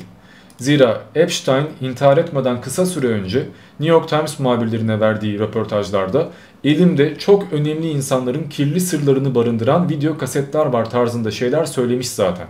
Yani gözdağını vermiş. Beni korumazsanız, kollamazsanız, arkamda durmazsanız yakarım demiş. Haliyle böyle bir adamın vah ya rezil olduk hadi intihar edeyim bari diyeceğini düşünmüyorum ben şahsen. Çünkü zaten yıllardır bu tür suçlamalara alışmış gibi görünüyor. Zaten bin defa bunlarla uğraşmış. Haliyle kalkıp da acaba Epstein gerçekten de intihar mı etti yoksa arka plandakiler tarafından öldürüldü mü diye sormak o kadar da komploya kaçmaz. Ve bunu illa da Illuminati'ye yıkmak da gerekmez. Çünkü adı geçenlerin bazıları zaten devlet başkanı falan olduğundan Illuminati'ye gelene kadar oho bu adamı temizlemek isteyecek bir sürü insan vardır. Bill Clinton mesela eski Amerika başkanı. Adam Epstein hakkında onca suç duyurusu varken bile onunla seyahat etmeye, özel jetine binmeye devam etmiş. Dolayısıyla demek ki o da bunlardan haberdarmış ve belki kendisi de VIP olarak adayı ziyaret etmiş olabilir dersek çok da abartmış olmayız. Hem Bill Clinton zaten biraz da zevk düşkünü olmasıyla tanınan biri. Adam Beyaz Saray'da sekreterleriyle ilişkiye girecek kadar pişkin bir herif. Bu yüzden de şahsen ben şaşırmazdım. Yine Prince, adam Epstein'in çalışanlarının verdiği ifadelere göre birçok defa Manhattan'daki konutu ziyarete gelmiş. Hatta haftalarca kaldığı bile olmuş. Ve bu da yetmezmiş gibi az önce haberini gösterdiğim J. Sjöberg adındaki hanımcağız kendisi hakkında zaten 2001'de Prens tarafından Epstein'in evinde tacize uğradığını söyleyen bir beyanda bulunmuş. Ha, tabi şöyle bir şey de var. Prens Andrew bu suçlamaları elbette reddediyor. Ama Epstein'la arkadaş olduğunu da inkar etmiyor. Zaten nasıl inkar edebilir? Yüzlerce fotoğrafı var yani. İzlemek isteyenler için 50 dakikalık bir röportajdır. Linkini de açıklamaya bıraktım. Adam burada yalnızca baskılar yüzünden gelecekte makamından çekilebileceğini söylüyor. O kadar yani. Ama yapmayacağını hepimiz biliyoruz. Aha 4 sene geçti röportajdan beri. Hala prens olmaya devam ediyor yani. Bu tip adamlar ölmeden emekli olmazlar abici. Bu çok malum bir şey yani. Yine Joe Biden'ın da bu tezgahın bir parçası olduğu söyleniyor.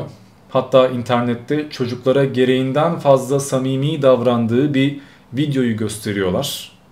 Bir bakalım istiyorsanız ona da. Görüyorsunuz zaten. Ya bunlar belki çok ağır şeyler değiller ama zaten bu benim burada gösterebileceğim kadarı. Bir tek Joe Biden falan değil. Abi bizim bu Game of Thrones'da gördüğümüz Kaldrogo var ya onun bile çoluk çocuğu böyle taciz ettiği, ellemeye çalıştığı videoları var yani. Ve her biri de kalkıp şöyle özellikle mason işaretleri yapıyorlar. Şöyle hareketler yapıyorlar. Yani bakın beden dili başka bir şeydir. Ben de bazı videolarımda konuşurken ne bileyim ellerim böyle olabilir, böyle olabilir. Ellerin hareket eder. Ama özellikle sürekli böyle semboller yapmak, sürekli masonluktan bahsetmek insanı bir şüphelendiriyor. Acaba bu adamların da bağlantısı var mı diye. Ve Biden'la alakalı şöyle bir şey de düşünebilirsiniz. Ya bu adam hani 70 yaşında bir adam günahını almayalım. Torunu yaşında çocuklara da yan gözle bakacak değil falan. Ama bir de bunun dışında Joe Biden'a tıpatıp benzeyen adeta ikizi gibi görünen bir dede var. Ve o videoda dede çıplak bir vaziyette kendisi de çıplak olan bir küçük kızı kırbaçlıyor. Dışarıdan baktığında bu adam resmen Joe Biden. Aynı adam yani. Ama video artı 18 olduğu için burada gösteremeyeceğim. İsteyenler zaten araştırıp bakabilirler. Ve bu sadece bir internet iddiası falan da değil. Bu video geçen seçimlerde gündeme gelmişti. Baya bir olay olmuştu ve Joe Biden bu konuda bir açıklama yapmamıştı. Hemen araya başka böyle haberler, gündemler sıkıştırarak aradan sıyrılmıştı. Ve yine kişiler ve iddialar Joe Biden'la da sınırlı kalmıyor. Örneğin ekranda gördüğünüz eski İsrail Başbakanı Ehud Barak Epstein'la toplam 36 defa görüşüyor. Hani 3-5 olsa anlayacağım.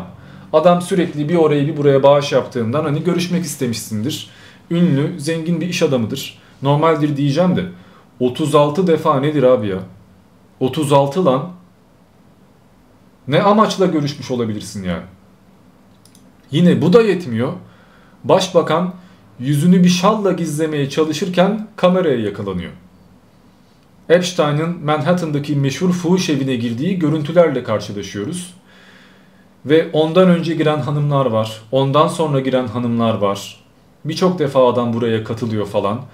Peki niye yüzünüzü örttünüz diye sorulduğunda da ya hava soğuktu ondan örttüm. Hep yaptığım bir şey yani burada şüphelenecek bir şey yok diyor. Yani evine girdiğini de adam inkar etmiyor. Hanımlarla alakalı elbette bir açıklama yapmayacak. Bu yüzden ben şimdi size şöyle bir soru sorayım. Bu kişiler isimlerinin böyle şeylerle anılmasını isterler mi?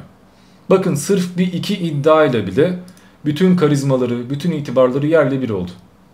E bir de Epstein'in gerçekten konuşacağını, gerçekten bir şeyleri ifşalayacağını varsayarlarsa paşa paşa oturup da her şeyi anlatmasını beklemezler diye düşünüyorum.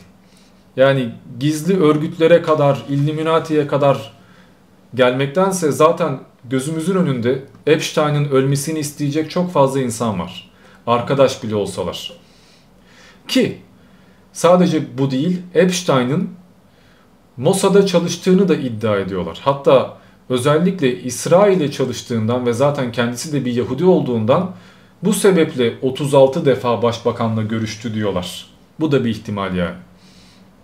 İddiaya göre hem Epstein hem de Maxwell yani kendisi de bir Yahudi olan eşi özellikle İsrail adına Amerika'da kaç tane nüfuzlu insan varsa bunların böyle kasetlerini toplamak, onlara şantaj yapacak şeyler ele geçirmek, onlarla yakınlaşmak ve ileride İsrail çıkarına bir şey lazım olduğunda Amerika'yı bu konuda kullanmak amacıyla yetiştirilmiş ve yollanmışlar. Bu yüzden de belki de İsrail ifşa olmak istemediğinden temizlemiştir diyenler de görüyoruz. Ve bunu diyenler öyle Twitter'daki 3-5 tane sahte profil değiller. Direkt ulusal düzeyde ünlü gazetelerde bu haberler çıkıyor. Ya da ekranda gördüğünüz Ben Menaşe gibi direkt Mossad'la bağlantısı olduğu bilinen eski ajan olduğu bütün dünya tarafından e, öğrenilmiş olan insanlar bunu dile getiriyorlar. Bu adam kendisi zaten eski ajan ve diyor ki Epstein de karısı da diğer ajanlardan bazıları. Hatta bu konuda bir kitap yazıyor şu anda. Bu yüzden de hani o kadar çok iddia var ki at izi it izine karışmış ve ne söylesem yanlış olacağından ben kesin bir yargıda bulunmak istemiyorum. Ben size sadece bu konularda birçok şaibe olduğunu söylüyorum. Devamını siz kendiniz düşünün. Çünkü sadece kim öldürmek isteyebilir gibi iddialar bir yana ayrıca adamın ölüm şekli hakkında da birçok şaibeyle karşılaşıyoruz. Bir dinleyin, kararı kendiniz verin. Şimdi her şeyden önce bu adam ölümünden iki gün önce vasiyet imzalamış ve yarım milyar dolarlık bir mirası 1953 Vakfı diye bir vakfa bırakmış. Ardından da ki biliyorsunuz zaten bunlar hep para transferlerini vakıflar aracılığıyla yaparlar. Haliyle o parayı da başkaları yiyecek. Bunlar gerçek anlamda çoluğa çocuğa gitmeyecek yani. Ardından bu adam ölür ölmez hemen ada başka birine satılmış. Ve böylece birçok delil, birçok iz temizlenmiş. Hatta sadece adanın değil, Manhattan Köşkü gibi birçok mülkünün de özellikle temizlendiği, birçok evrağın götürüldüğü, kaçırıldığı, özellikle yok edildiği söyleniyor. Sorguya çekilen kaç tane hizmetçi, kaç tane çalışan varsa, bu adamın altında kaç tane adam varsa her biri aynı ifadeleri vermişler. Birkaç tane adam geldi bir anda her şeyi toplayıp gittiler demişler polislerden önce. Bu yüzden de size bu en başında gösterdiğim o 900 sayfalık rapor bence buzdağının anca görünen yüzü. Anca bizim bilmemize izin verilen kısmı ya da en önemlileri kurtarmaya çalışırlarken arada kaynayan en önemsiz parçalar. Bu arada şu an ekranda gördüğünüz bu fotoğraf nezarette çekilen fotoğrafıdır. Bu yüzden adam böyle bitkin görünüyor ve aha şu fotoğrafta da hücresinin intihardan sonraki durumunu görüyorsunuz. Daha doğrusu intihardan sonra düzenlenmiş durumunu görüyorsunuz diyelim. Çünkü adam sözde kendini astıktan sonra olay yeri hiçbir şeye müdahale etmeden her şeyin fotoğrafını çekmek zorundadır. Ve ceset nasıl bir pozisyonda yatıyormuş, kolu nereye dönük, vay efendim ip nasıl bağlanmış, her şeyi kaydetmek zorundadır. En basit kuraldır yani. Olay yerine müdahil olmazsın. Gelirsin önce ne var ne yok her şeyi arşivlersin. Ardından adamı işte morga götürmektir, etrafı düzenlemektir bu tür şeylerle uğraşırsın. Ama öyle yapmamışlar. Fotoğrafları çekmeden önce, yetkililer gelmeden önce adamı çevirmişler, yatırmışlar, çözmüşler, etrafı bir düzenlemişler falan. Yani Dingo'nun ahırıymış gibi gelen geçen orada bir işlem yapmış. Yani kasıtlı bir sabotaj var. Ve bu da yetmiyor. Adam kendini asarken kameralar arızalanıyor. Kamera kaydı yok. Hadi kamera kapanmış. Peki gardiyanlar da mı görmemiş diyeceksiniz. Görmemiş çünkü o esnada iki gardiyan da uyuyakalmış. O kadar üst düzey bir hapishanede hem de. Ki buradan bile anlaşılıyor yani. Zaten bunlar filmlerden bile alışık olduğumuz şeyler. Derin devlet veya üst makamlardaki bazı insanlar bir hapishanede birini halledeceği zaman gardiyanlar işi görmezler, uyuyakalmış olurlar falan, bakmazlar oraya. Kameralar bozulmuş olur. Hapishane müdürü doğru düzgün bir açıklama yapmaz. Konu kapanır. Bir de şöyle bir şey var. Yasaya göre bu adam öldükten sonra hakkındaki soruşturma kapanıyor. Ki öyle de oldu yani adam sözde intihar ettikten sonra konuyu kapatıyorlar. Araştırmalar duruyor. O esnada bir takım mülkler satılmaya başlanıyor falan. Yani suç mali sayılabilecek olaylar, mekanlar bile artık suç mali olmaktan çıkarılıyor. Bu yüzden de eğer adaya dair bir soruşturma yapılmasını istemiyorsan, gerçek anlamda bir şeylerin ifşalanmasını istemiyorsan yapabileceğin en kolay ve hızlı şey Epstein'i öldürmektir. Adamı öldürünce konu kapanacağından uğraşmana gerek kalmayacaktır. Ve özellikle Epstein'in kardeşinin tuttuğu adli patolog Michael Baden bunun bir cinayet olduğunu, hiçbir şekilde bunun intiharla uyuşmadığını, hiçbir verinin intihar gibi göstermediğini, burada kasıtlı bir çarpıtma yapıldığını söylemiş. Bu konuda resmi bir rapor paylaşmış ama görmezden gelmişler. Yine size bununla alakalı şöyle bir örnek vereyim. Bakın Epstein'in kardeşi abim öldürüldü, intihar etmedi şeklinde açıklamalar yapıyor.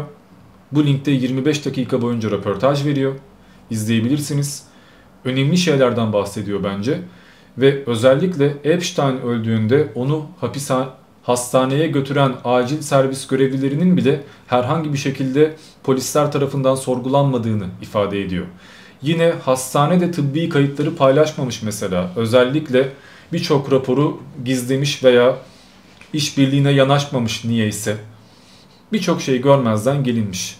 Bu da yetmezse yine Newsweek'te şu haberde uzun uzun kardeşinden alınan bilgilerle beraber bu konuya değinmişler. Yine okursanız bence faydalı olacaktır.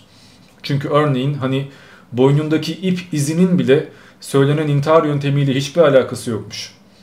Sen kendini astığın zaman ne olur? Şöyle göstereyim. Kendimi astım yukarıdan aşağı doğru iniyorum değil mi? Ağırlığım aşağıda. İp şuradan yukarıya doğru gider.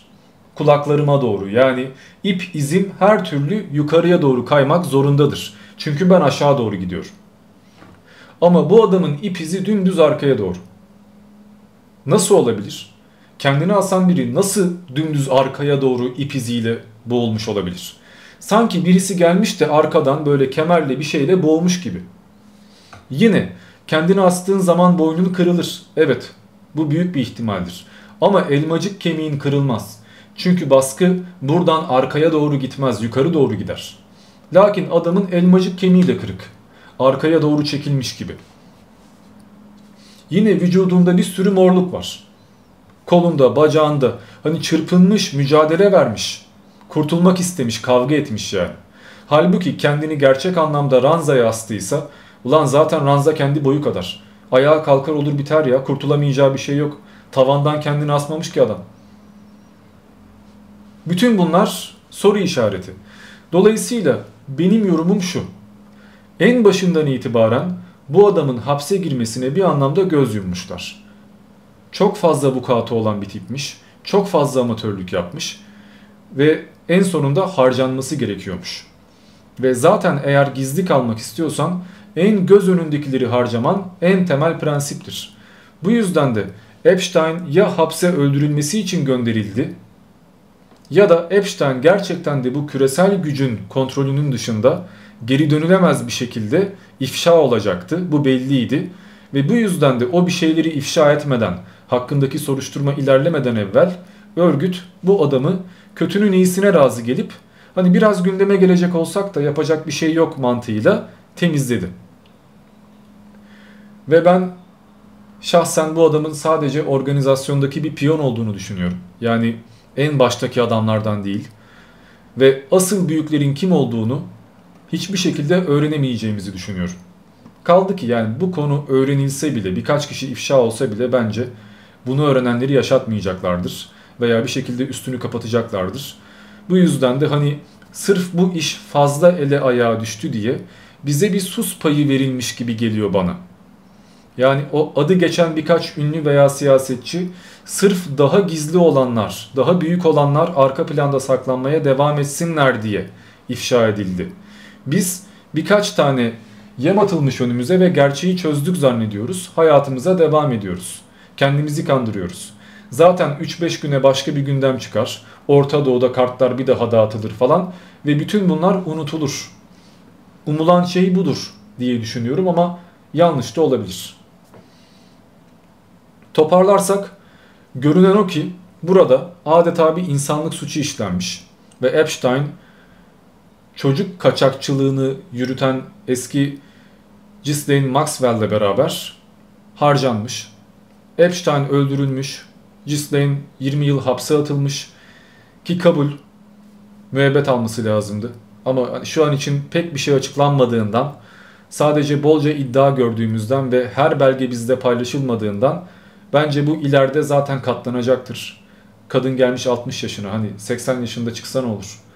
O 20 yıl içinde onun bir 20-30 yıl daha ceza alması mümkündür yani. Komple dava kapatılmadı. Şimdilik hani gözümüzü boyamak amacıyla birkaç kişi harcanmıştır. Ve devlet de bizimle her belgeyi paylaşmak zorunda olmadığından biz hiçbir zaman gerçek anlamda neler yaşandığını öğrenemeyeceğiz. Ha belki şu da yapılabilir. Birkaç kişiyi daha hapse atarlar adı geçen. Hani millet sorgulamasın diye. Bill Clinton'ı hapse atmazlar belki ama yine de hani harcanabilecek birkaç kişiyi harcarlar. Ve sonunda biz film izlemeye, komplo teorilerini işte ciddiye almamaya ya da işimize bakmaya devam ederiz. Ve ben şahsen bu olayın sadece fuhuş ve insan avıyla kısıtlı kaldığını düşünmüyorum. Belki gerçekten de pagan ayinleri falan yapılıyordu o adada. Belki gerçekten bu adamlar şeytana falan tapıyorlardı. Belki de gerçekten olayın arkasında böyle tek dünya düzeni gelsin, üçüncü bir dünya savaşı çıksın, insanlığın %90'ı gebersin de bizde biz bize kalalım diyen tipler vardır. Hepsi bir ihtimaldir. Çünkü buyurun size adayı göstereyim arkadaşlar. Adı geçen ada. Olaylar burada yaşandı. Ve burada çok acayip semboller, çok acayip böyle antik Mısır renkleriyle bezenmiş görseller, tapınaklar falan var. Adanın üstünde dışarıdan baktığınız zaman bir iki tane tapınak dışında hiçbir şey yok. Ve bazı tüneller de tespit edilmiş. Yani sadece bunlardan ibaret değil bu. Hatta kubbeli bir tane yapı vardı ona da bakalım. Ha. Adeta bakın bir tapınak inşa ettirmiş adam. Ve üstü bomboş. Hani bu adada sen ne yaptın? Neyin partisini verdin? Dışarıdan baktığında yapılacak bir şey yok gibi. Lakin tünellerden girdiğin zaman yer altına baktığın depolara baktığın zaman yüzlerce ceset fotoğrafı, yüzlerce tecavüz fotoğrafı falan çıkıyor. Bir takım mahzenler buluyorlar. Yani eğer harbiden adanın altına insek şu binalardan girip Squid Game'in orijinal versiyonuyla karşılaşacağız. Bundan eminim. Bu yüzden de ben bu insanların burada Eyes Wide Shut'ta gördüğümüz gibi ya da House of Cards'ta gördüğümüz gibi bir takım şeyler yaptığından eminim. Ama ispatlayabilir miyim? Hayır. Bunlar çok uçuk kaçık tezler değil. Yani insanlar oturup kurban mı verecekler ya da insan avı mı yapacaklar? Milletin birbirini öldürmesini mi izleyecekler? Bundan keyif mi alacaklar? Bu kadar da abartmayın yahu diyenler çıkabilir. Fakat dediğim üzere insan doğası vahşidir ve geçen yüzyılda da benzer olaylar yaşanmıştır. Şu 3 yıl önce paylaşmış olduğum insanat bahçeleri videosuna bakarsanız bütün kaynaklarıyla, bütün fotoğraflarıyla, belgeleriyle Batı'nın geçen yüzyılda ne tür rezillikler yaptığını bir bir göreceksiniz. Adamlar Afrikalıları araziye salmışlar. Üzerlerine tüfekle ateş etmişler. Ben 10 tane vurdum sen 5 tane vurdun diye kendilerince yarış yapmışlar. Para karşılığı insan öldürmüşler adeta. Öldürdükleri insanların kemiklerini insan müzesi adı altında sergilemişler, alay etmişler, maketler yapmışlar. Zincire vurup para karşılığı sıra sıra tecavüz etmişler. Her şey var. Ve bu tür iğrenç aktiviteler 1950'ye kadar devam etmiş. Hani 500 sene öncesinden bahsetmiyorum ha. Basbaya dün yaşanmış bunlar. Bu olaylar devam ederken doğan birçok kişi şu anda hayatta. Eh tabi bir süre sonra Batı sözde insan haklarıyla, sözde modernizm gibi kılıflarla bizim gözümüzü boyamaya başladı. Ama bizim gözümüzü boyarken bir yandan da arka plandan kendi özel adalarında, kendi özel sapkın zevkleri için bir takım insanların hayatıyla oynamaya devam etmiş görüldüğü kadarıyla. Epstein adası da bunun en basit örneği ve adanın da Google Maps'ten görüntüsü aha bu şekilde. Normalde şuradan böyle kendimizi atıp içinde gezebiliyor olmamız lazım. Ama yasak açılmıyor, içinde gezemiyoruz. Bu yüzden de kuş bakışı bakabileceğiz. Şöyle bir ada. Little St. James bir de yanında şöyle Grady var, büyük var. Bütün o gördüğümüz tapınaklar, saçma sapan şeyler aha burada. Fakat hakkaniyet açısından şunu da bir söylemem lazım. Her gelen de çocuklarla ilişkiye girdi ya da her adaya ziyarete gelen insan avına şahit oldu diyemeyiz bence.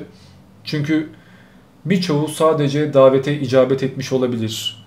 Birçoğu konuyu bilmiyordur. Sadece adayı gezip dönmüştür, partilemiştir. Bu da bir ihtimaldir. Yani her Epstein'la fotoğrafı olan illa bu suçlara ortak oldu veya bunları biliyordu, göz yumdu demek doğru olmaz. Çünkü adam sırf saygınlık kazanabilmek amacıyla bile Harvard gibi birçok üniversiteye anormal bağışlarda bulunmuş. Ne bileyim fizik veya felsefe konuşabilmek amacıyla bir takım profesörlere çok yüklü paralar göndermiş. Hani bir görüşelim, sohbet edelim, şu konuyu merak ediyorum bana anlatın diye anormal paralar saçmış. Haliyle birçok ünlü ya karşımda böyle bol keseden para dağıtan ve benimle görüşmek isteyen bir adam var. E bakıyorum internette fotoğraflarına, adına. Adam devlet başkanlarıyla fotoğraf çektirmiş. Düzgün bir adama benziyor. Paramı alayım yoluma bakayım ne olacak ki diye düşünmüş olabilir. Ya adam beni çağırsa şimdi. Diamond'cım ben seni izliyorum. Videolarını çok beğeniyorum. Ben Epstein. Bak şöyle şöyle önemli bir insanım. Kontrol de edebilirsin. it kopuk değilim. Gel bizim bir üniversitede bir konferans ver ya. Veya gel senle bir kahve içelim ya. Ben de sana 100 milyon dolar göndereyim. Sevdiğim için destek vereyim dese ben de giderim abi. Niye gitmeyeyim? Adam sonuçta bu ifşaatlardan önce benim araştırıp bulabileceğim ve şüphe duyabileceğim bir kişi değil ki. Çok önemli şahıslarla kanka olan bir vatandaş ve elbette ben de 100 milyonu indirmek isterim yani. Fakat ne olur 5-10 sene sonra bu adamın bir şeyleri ifşa edildiğinde ee, ben de güme giderim. Millet der ki aa Diamond zamanında bu adamla fotoğraf çekmiş. Demek ki Diamond da bunlardan haberdarmış. Bu yüzden de hani her adaya gidenin gerçek anlamda sapığın önde gideni olduğunu düşünmek doğru olmayabilir. Yayın kasıyor diyenler var. Vallahi bende akış mükemmel. Kusursuz bağlantı. Hatta 4K yayın veriyorum da kamera 4K değil bu yüzden 4K görmüyorsunuz. Bilmiyorum birçok kişide sıkıntı yok demiş. Bu arada 20 binden fazla insan yayına odaklanmış, gelmiş, girip çıkmış. Şu anda da 5000 kişiye yakın insan burada. Yani eğer yayını, aktarımı, konsepti bilgilendirici bulduysanız ya da yayını beğendiyseniz, hoşunuza gittiyse yayını beğenmeyi unutmayalım. Sizden ekstra bir şey istemiyorum yani bağış yapmanızı, abone olmanızı falan değil. Yayını beğenirseniz benim için iyi olur. Videoyu daha fazla insan görür. Daha çok kişiye ulaşır. Bir tıka basacaksınız yani çok zahmet olacağını düşünmüyorum. Teşekkür ediyorum. Şimdi benim değinmeye çalıştığım şu. Yüzlerce isim paylaşıyorlar ve bizim sorgulamamız gereken bence Hollywood yıldızları veya şarkıcılardan ziyade bu adamın birçok defa görüştüğü önemli mertebelerdeki insanlar. Mesela Prince Andrew niye bin defa adamın evine gitti? Ya da Bill Clinton niye bu adamla birçok defa görüştü abi? Niye yani? Veya fotoğraftaki papa ne alaka? Gerçi Vatikan'daki din adamlarının küçük çocukları taciz ettiği sorunu yıllardır devam eden bir şey ve meşhur bir olay. Bu yüzden çok da şaşırmam ama e, peki Trump ne alaka? Ya da İsrailli devlet büyükleri niye 30 küsür defa bu adamla bir araya geliyorlar? Gerçekten hepsi olaylardan bir haber miydi? Hiçbiri bir şey bilmiyor muydu yani? Yoksa ortak mıydılar? Sorulması gerekenler bence bunlar. Ha bu arada İsrail ne alaka diye soruyoruz ya. Şu ekranda gördüğünüz kişi Epstein'ın avukatı. Ama aynı zamanda İsrail lideri Netanyahu'nun da avukatı. Yetmiyor Donald Trump'ın da avukatı. Çok enteresan değil mi? Yani belki her oyuncu bu circle'a dahil olmayabilir ama bence ağır toplar dediğimiz bazı insanlar gayet konudan haberdarlar. Sohbet muhabbet olacak mı diye sorulmuş. Evet olacak Mustafa ama göstermem gereken en az bir 30 dakikalık görsel var şu anda. Sunum bitsin, konu dağılmasın, her bilginin arasına 5-10 dakika sohbet muhabbet katıp insanları sıkmayalım. Adeta belgesel gibi böyle dümdüz ilerleyelim. Tüm sunum bittiği zaman zaten genel bir değerlendirme yaparız. Sohbet muhabbet döndürürüz. Şimdi bütün bu gösterdiğim şeyler, bütün bu sorduğum sorular bunlar hani herkesin düşünebileceği, herkesin bulabileceği, herkesin okuyup anlayabileceği şeyler. Fakat bir taraftan bu kadar açık görünmeyen, komplo teorisine kaçan ama bir yandan da çok mantıklı görünen bazı iddialarla da karşılaşıyoruz. Örneğin Simpsons ve benzeri çizgi filmlerde sürekli yıllar öncesinden günümüzde yaşanacakların ifşa edilmesi muhabbeti var. Bu nasıl mümkün olabiliyor? Adamlar 2012 yılında 2018 hakkında bir şey çekiyorlar. Gerçekten de yaşanıyor. Bunların birçoğu uydurma mı, sonradan mı düzenlendi, bu da mı bir algı bilemeyeceğim ama sadece Simpsons sadece Simpsons'tan ibaret değil zaten bunlar. O kadar çok şey var ki arkadaşlar. Mesela bakın Başka bir çizgi filmde de yine Coming Soon yazıyor.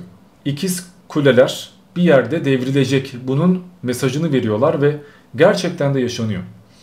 Bu kadar ciddi örneklerin sayısı o kadar fazla ki bir süre sonra insan gerçekten de her şey planlandı mı yani? Hani hangi yılda hangi devlet büyüğü makamı terk edecek veya öldü gibi görünecek? Hangi yılda hangi iktidar devrilecek? Hangi yılda hangi hastalıklar yayılacak, her şey proje mi? Tamamen kandırılıyor muyuz diye merak etmemek mümkün değil. Örnek olması amacıyla şimdi size bir kitap göstereceğim. Sylvia Brown'un End of Days kitabı. Kehanetler diye tercüme edildi bu. Kitap 2008 yılında çıktı arkadaşlar.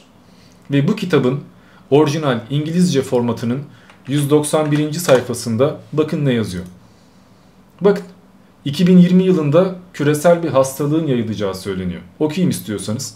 2020 yılı civarında zatüre benzeri ciddi bir hastalık ortaya çıkacak ve tüm dünyaya yayılacak. Akciğerlere saldıracak ve bilinen tüm tedavilere direnç gösterecek. Hastalığın kendisinden bile daha şaşırtıcı olanıysa bu hastalığın bir anda kendi kendine yok olacak olması. Gerçekten de öyle oldu. Bir anda Covid diye bir şey çıktı. Çare bulana kadar bir yıl geçti ve sonra bir anda hastalık ortadan kayboldu. Ve bunun sırf aşı yaptırmış olmamızla ve artık dirençli hale gelmemizle bir alakası yok. Çünkü hastalık evrimleşmedi. Normalde hastalıklar da evrimleşiyorlar ve bir iki yıl içinde yeni bir ilaç üretmen gerekiyor. Ya da ilaçlar genelde geçici süreliğine fayda sağlıyorlar ve bu yüzden de her yıl yeniden grip aşısı olman gerekiyor. Yoksa bir daha hastalanıyorsun. Yani bir aşıyla ömür boyu gidemiyorsun. Fakat Covid'de öyle olmadı. 2-3 tane iğne vurdular. Hatta bu aşıların birçoğunun kalbe zararlı olduğu ortaya çıktı. Milyonlarca insan aşı olduktan 5 gün sonra kalp krizinden öldü. Bu yüzden hatta BioNTech gibi firmalara dava açıldı falan. Ve şu anki Covid vakalarına baktığımızda geçen yıllara oranla milyonda bir falan. Yani hastalığın aşıyla bir alakası yok. E öyleyse şimdi ya bu kadın gerçekten kahin ve geleceği görüyor diyeceğiz. Yani ya burada bir Rum suresi mucizesi falan var diye düşüneceğiz. Ya da zaten ensesi kalın tipler hangi yıl ne yapılacağını belirlemişler. Gerçekten de global bir örgüt var ve bu kadın bir şekilde Nostradamusluk yaparak kehanet formatında bildiği ne varsa anlatmış diye düşüneceğiz. Ya da son bir ihtimal kitapta zaten birçok kehanette bulunuyor. E bunların birçoğu tutmuyor. Arada birkaç tanesi tutmuş yani şaşıracak bir şey yok diye düşüneceğiz. Lakin hem yılına hem de türüne kadar doğru bilmesi ve yine benzer bir tezin de Simpsons'ta yıllar önce gösterilmiş olması biraz şaşırtıcı. Kaldı ki şöyle düşünmek de mümkün. Belki de bu kadın gerçekten bir şeyleri ifşa etmek istedi ama komple ifşa kitabı yazamazdı. Yazarsa temizlerlerdi. Bu yüzden de araya birçok yanlışın da karıştığı, bilerek gerçekleşmeyecek şeyleri de yazdığı bir kitap ortaya çıkarttı ve aradan düzgün okuyan, gerçekten bir şeyleri görmek isteyenler 300 sayfalık kitabın 20 sayfasındaki o gerçek kehanetleri, ge- gelecekte yaşanacak olan gerçek planları bulabilecek diye düşündü. Bu da muhtemel yani. Bu yüzden de net bir şey söyleyemeyeceğim. Çünkü Covid'i Illuminati yaydı dersen bunun sonu dediğim üzere depremleri de Illuminati yapıyor. Hangi ülkede kimin başa geçeceğini de onlar seçiyor falan demeye kadar gidiyor.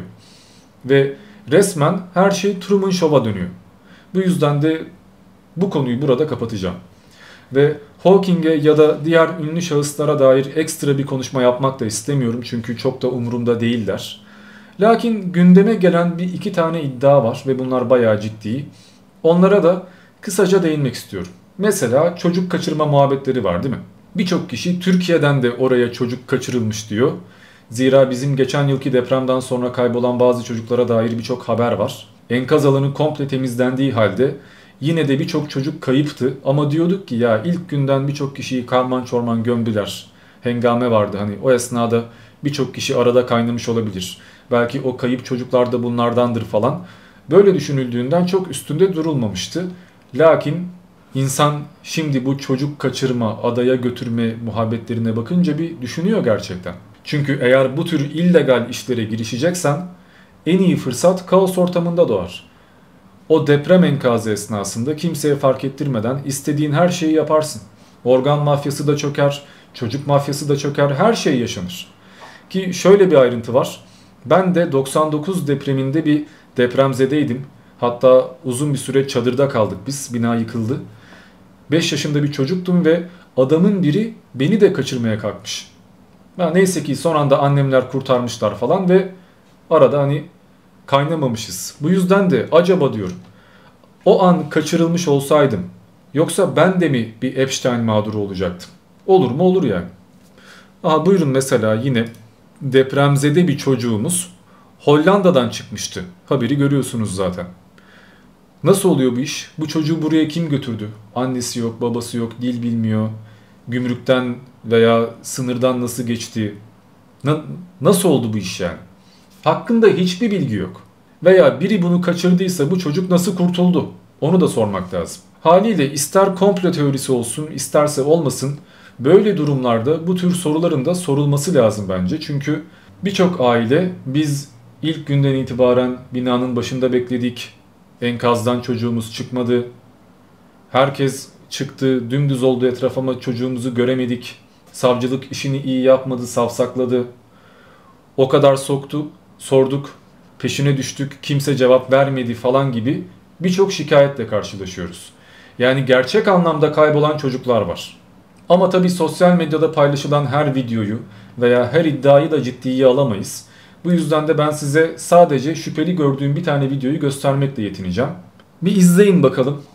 Kararı kendiniz vermeye çalışın. kind of going places never heard from again, right? En başa alıyorum ve mikrofonumu kapatıyorum. Are you with. Can, can I ask what company you're with? No, No? You, you, you won't tell me? no. Okay. Why are you being so secretive? Don't worry about it, sir. Can you stop bothering me? Pete, ¿cuántos años? It's okay. It's okay. Amigo, amigo. Amigo. ¿Cuántos años? ¿Qué, qué país?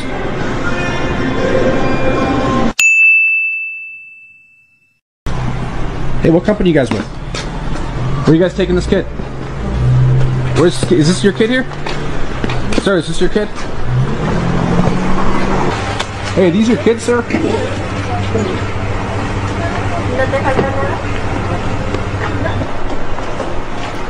Everything okay, sir? Özetle hani altyazıyı koyamadım. Şöyle size tercüme edeyim. Bu arkadaşlar yanlarında kendi çocuğu olmadığı belli olan bazı tipler görmüşler. Ve çocuklar korkuyor gibi görünüyorlarmış. Bu sizin çocuğunuz mu? Nereye götürüyorsunuz gibi sorular soruyor. Kimse cevap vermiyor. Evet kendi evladım falan demiyorlar. Sadece çekme çekme çekme falan yapıyorlar. Yani bir şeylerin yürütüldüğü belli. Ve bu şekilde yüzlerce video var. Mültecilerin çocukları da kaçırılabilir. Depremzede olanlar da kaçırılabilir. Evsiz olanlar da kaçırılabilir.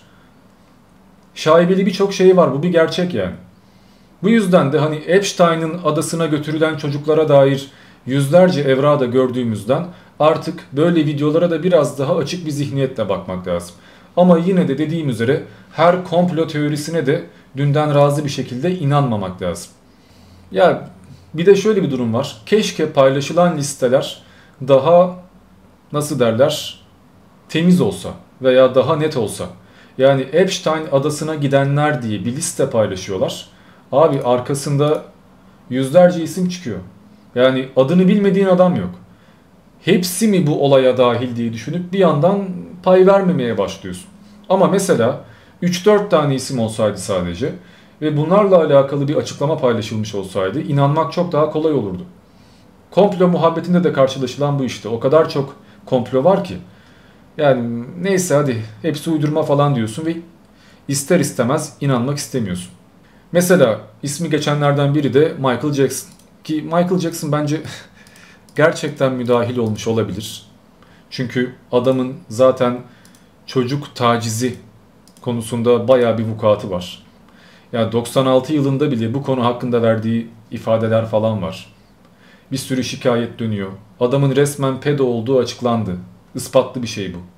Haliyle bu kadar ünlü, bu kadar zengin, bütün dünyanın tanıdığı ve çocuklara düşkün olan bir vatandaş da illaki böyle bir ada, böyle bir zevk, böyle bir proje bulduğu zaman peşine düşer diye düşünüyorum. Ki o da öldükten sonra hani bir suikaste kurban gitmiş olabileceğine dair birçok teori ortaya atıldı. Zira ölmeden önceki son konuşmasında peşimde birileri var diye polise şikayette bulunuyor. Beni öldürecekler artık bıçaklarlar mı, silahla mı vururlar bilmiyorum. Yardımcı olun peşimde bazı adamlar var. Bunlar işte büyük insanlar falan diyor. Ses kaydı burada isteyenler dinleyebilir. Telife girmesin diye burada dinletemeyeceğim. Ha birçok kişi bunları da kanıt saymayabilir. Hayır bunlar spekülasyon. Ben Michael'ı çok seviyorum. Süper dans ediyor. Çok temiz bir adam falan diyebilir. Size kalmış ama sonuçta bir düşündürmesi lazım bence. Yani en başından kestirip atmak da ilk duyduğun komploya inanmak kadar saçma olur. Bu yüzden de şüpheci olmak her zaman iyidir diye düşünüyorum. Benim asıl dikkatimi çeken ne biliyor musunuz?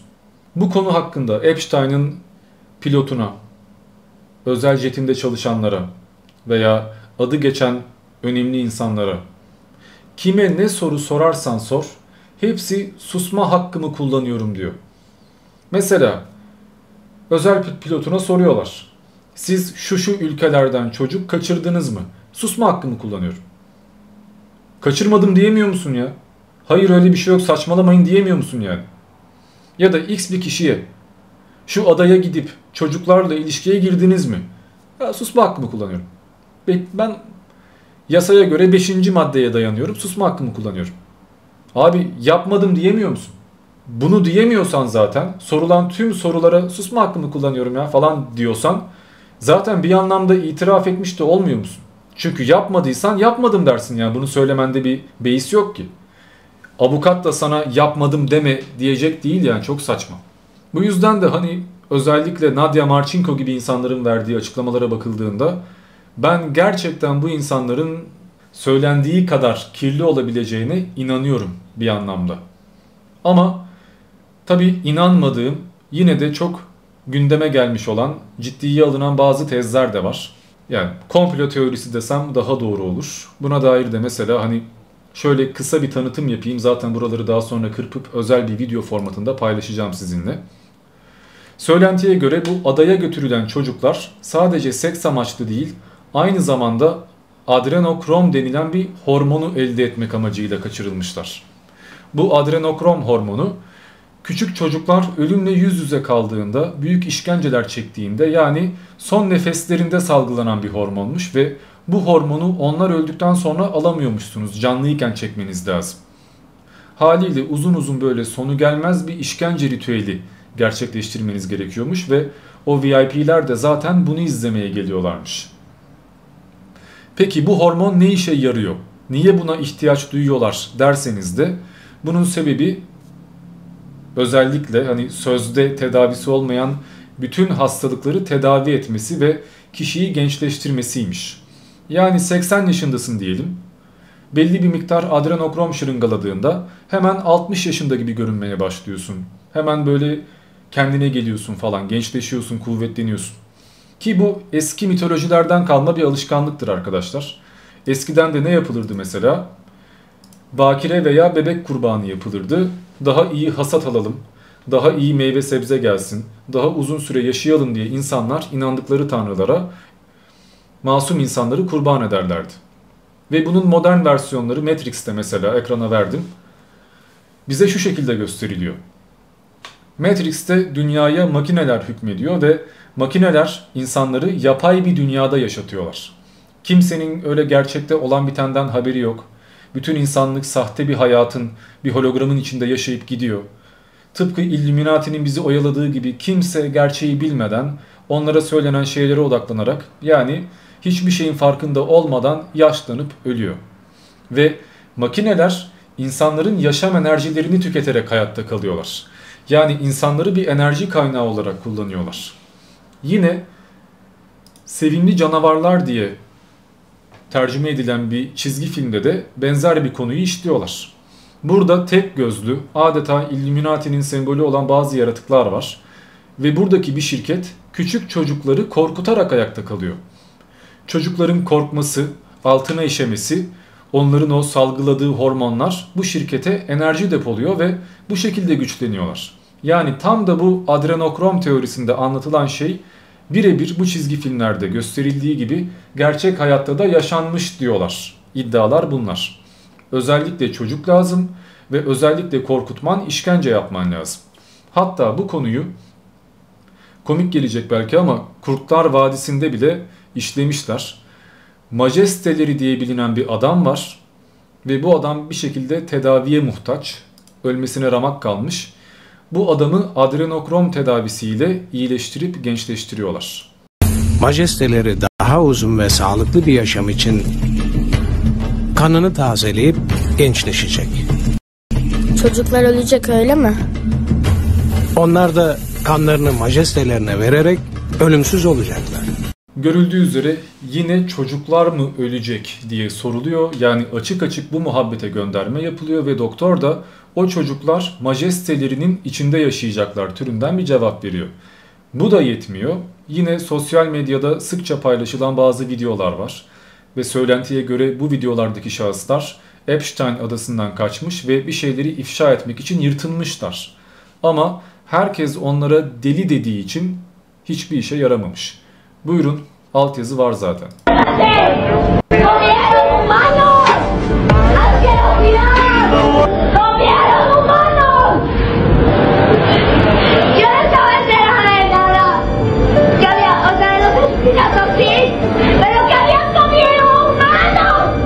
Ne diyor hanımefendi? İnsan yiyorlar. Bu kadarını da beklemiyordum. Böyle bir şey olacağını düşünmemiştim. Kafayı yemişler. Bunlar canlı canlı insan yiyorlar falan diyor. Yani olay sadece hormonu almakla bitmiyor. Üstüne bir de yamyamlık yapıyorlarmış.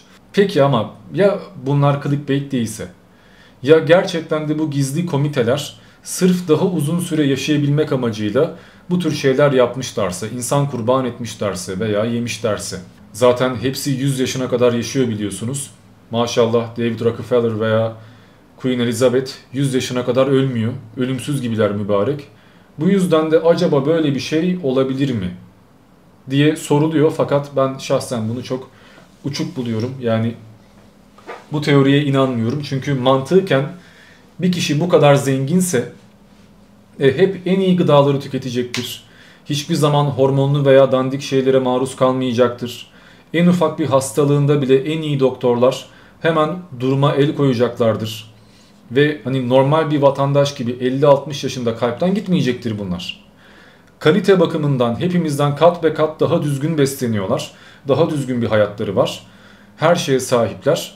Yaşadıkları ortam bile daha temiz. E bırak da yaşasınlar abi ya. Sigaradan bıyığı sapsarı olmuş Mahmut Emmi ile X bir holding sahibi aynı hayatı mı sürdürüyor?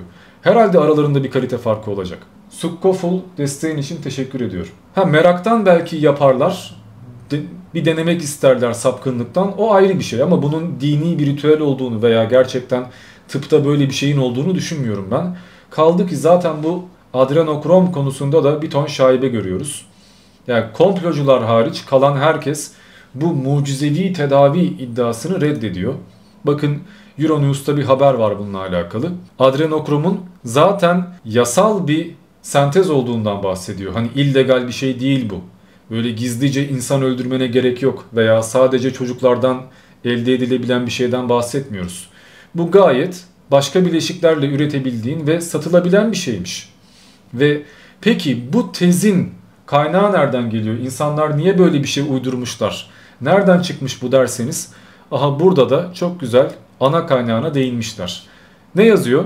Hunter S. Thompson'ın 1972'de yayınlanan Fear and Loathing'in Las Vegas adlı romanında adrenokrom çocukların beyninden diri diri elde edilmesi gereken bir gençlik iksiri olarak anlatılıyor. Daha sonra Las Vegas Parano adıyla filmi de çekilen roman bu sıradan kimyasal sentezi dünyanın en güçlü uyuşturucu ilacı olarak sunuyor. Üstelik romanda geçen ifadelere göre çocukların beyninde adrenalin salgılarken ortaya çıkan bu molekülün ölü bir bedenden elde edilmesi de mümkün değil. Romanda molekülü satan karakterin çocuk katili olduğu ortaya çıkıyor. Thompson'ın romanından yola çıkan komplo teorileri de çocukların adrenokrom için kaçırıldığını ve işkence gördüğünü öne sürüyor. Kısacası bütün bunlar hikaye. Zamanında biri böyle bir roman yazmış.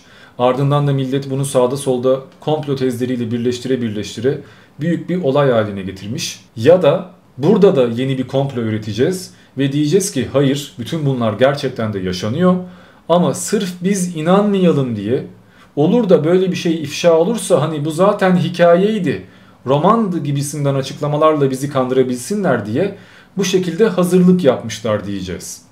Yani yine kandırıldığımızı düşüneceğiz. Ama bu şekilde bu sonsuza kadar gider yani. O komplo, bu komplo nereye kadar? Bu yüzden de ben bu konuda ekstra bir yorum yapmak istemiyorum. Evet bundan sonra bir iki konuya daha değinmiştik ve yaklaşık yarım saat boyunca sohbet muhabbet yapmış ardından da yayını kapatmıştık ama şu anda o muhabbetlerin bu videoya bir katkısı olmayacağından tekrar videosunda oraları kaldırdım. Şimdilik bu kadar. Ben Diamond diğer videolarda görüşmek üzere.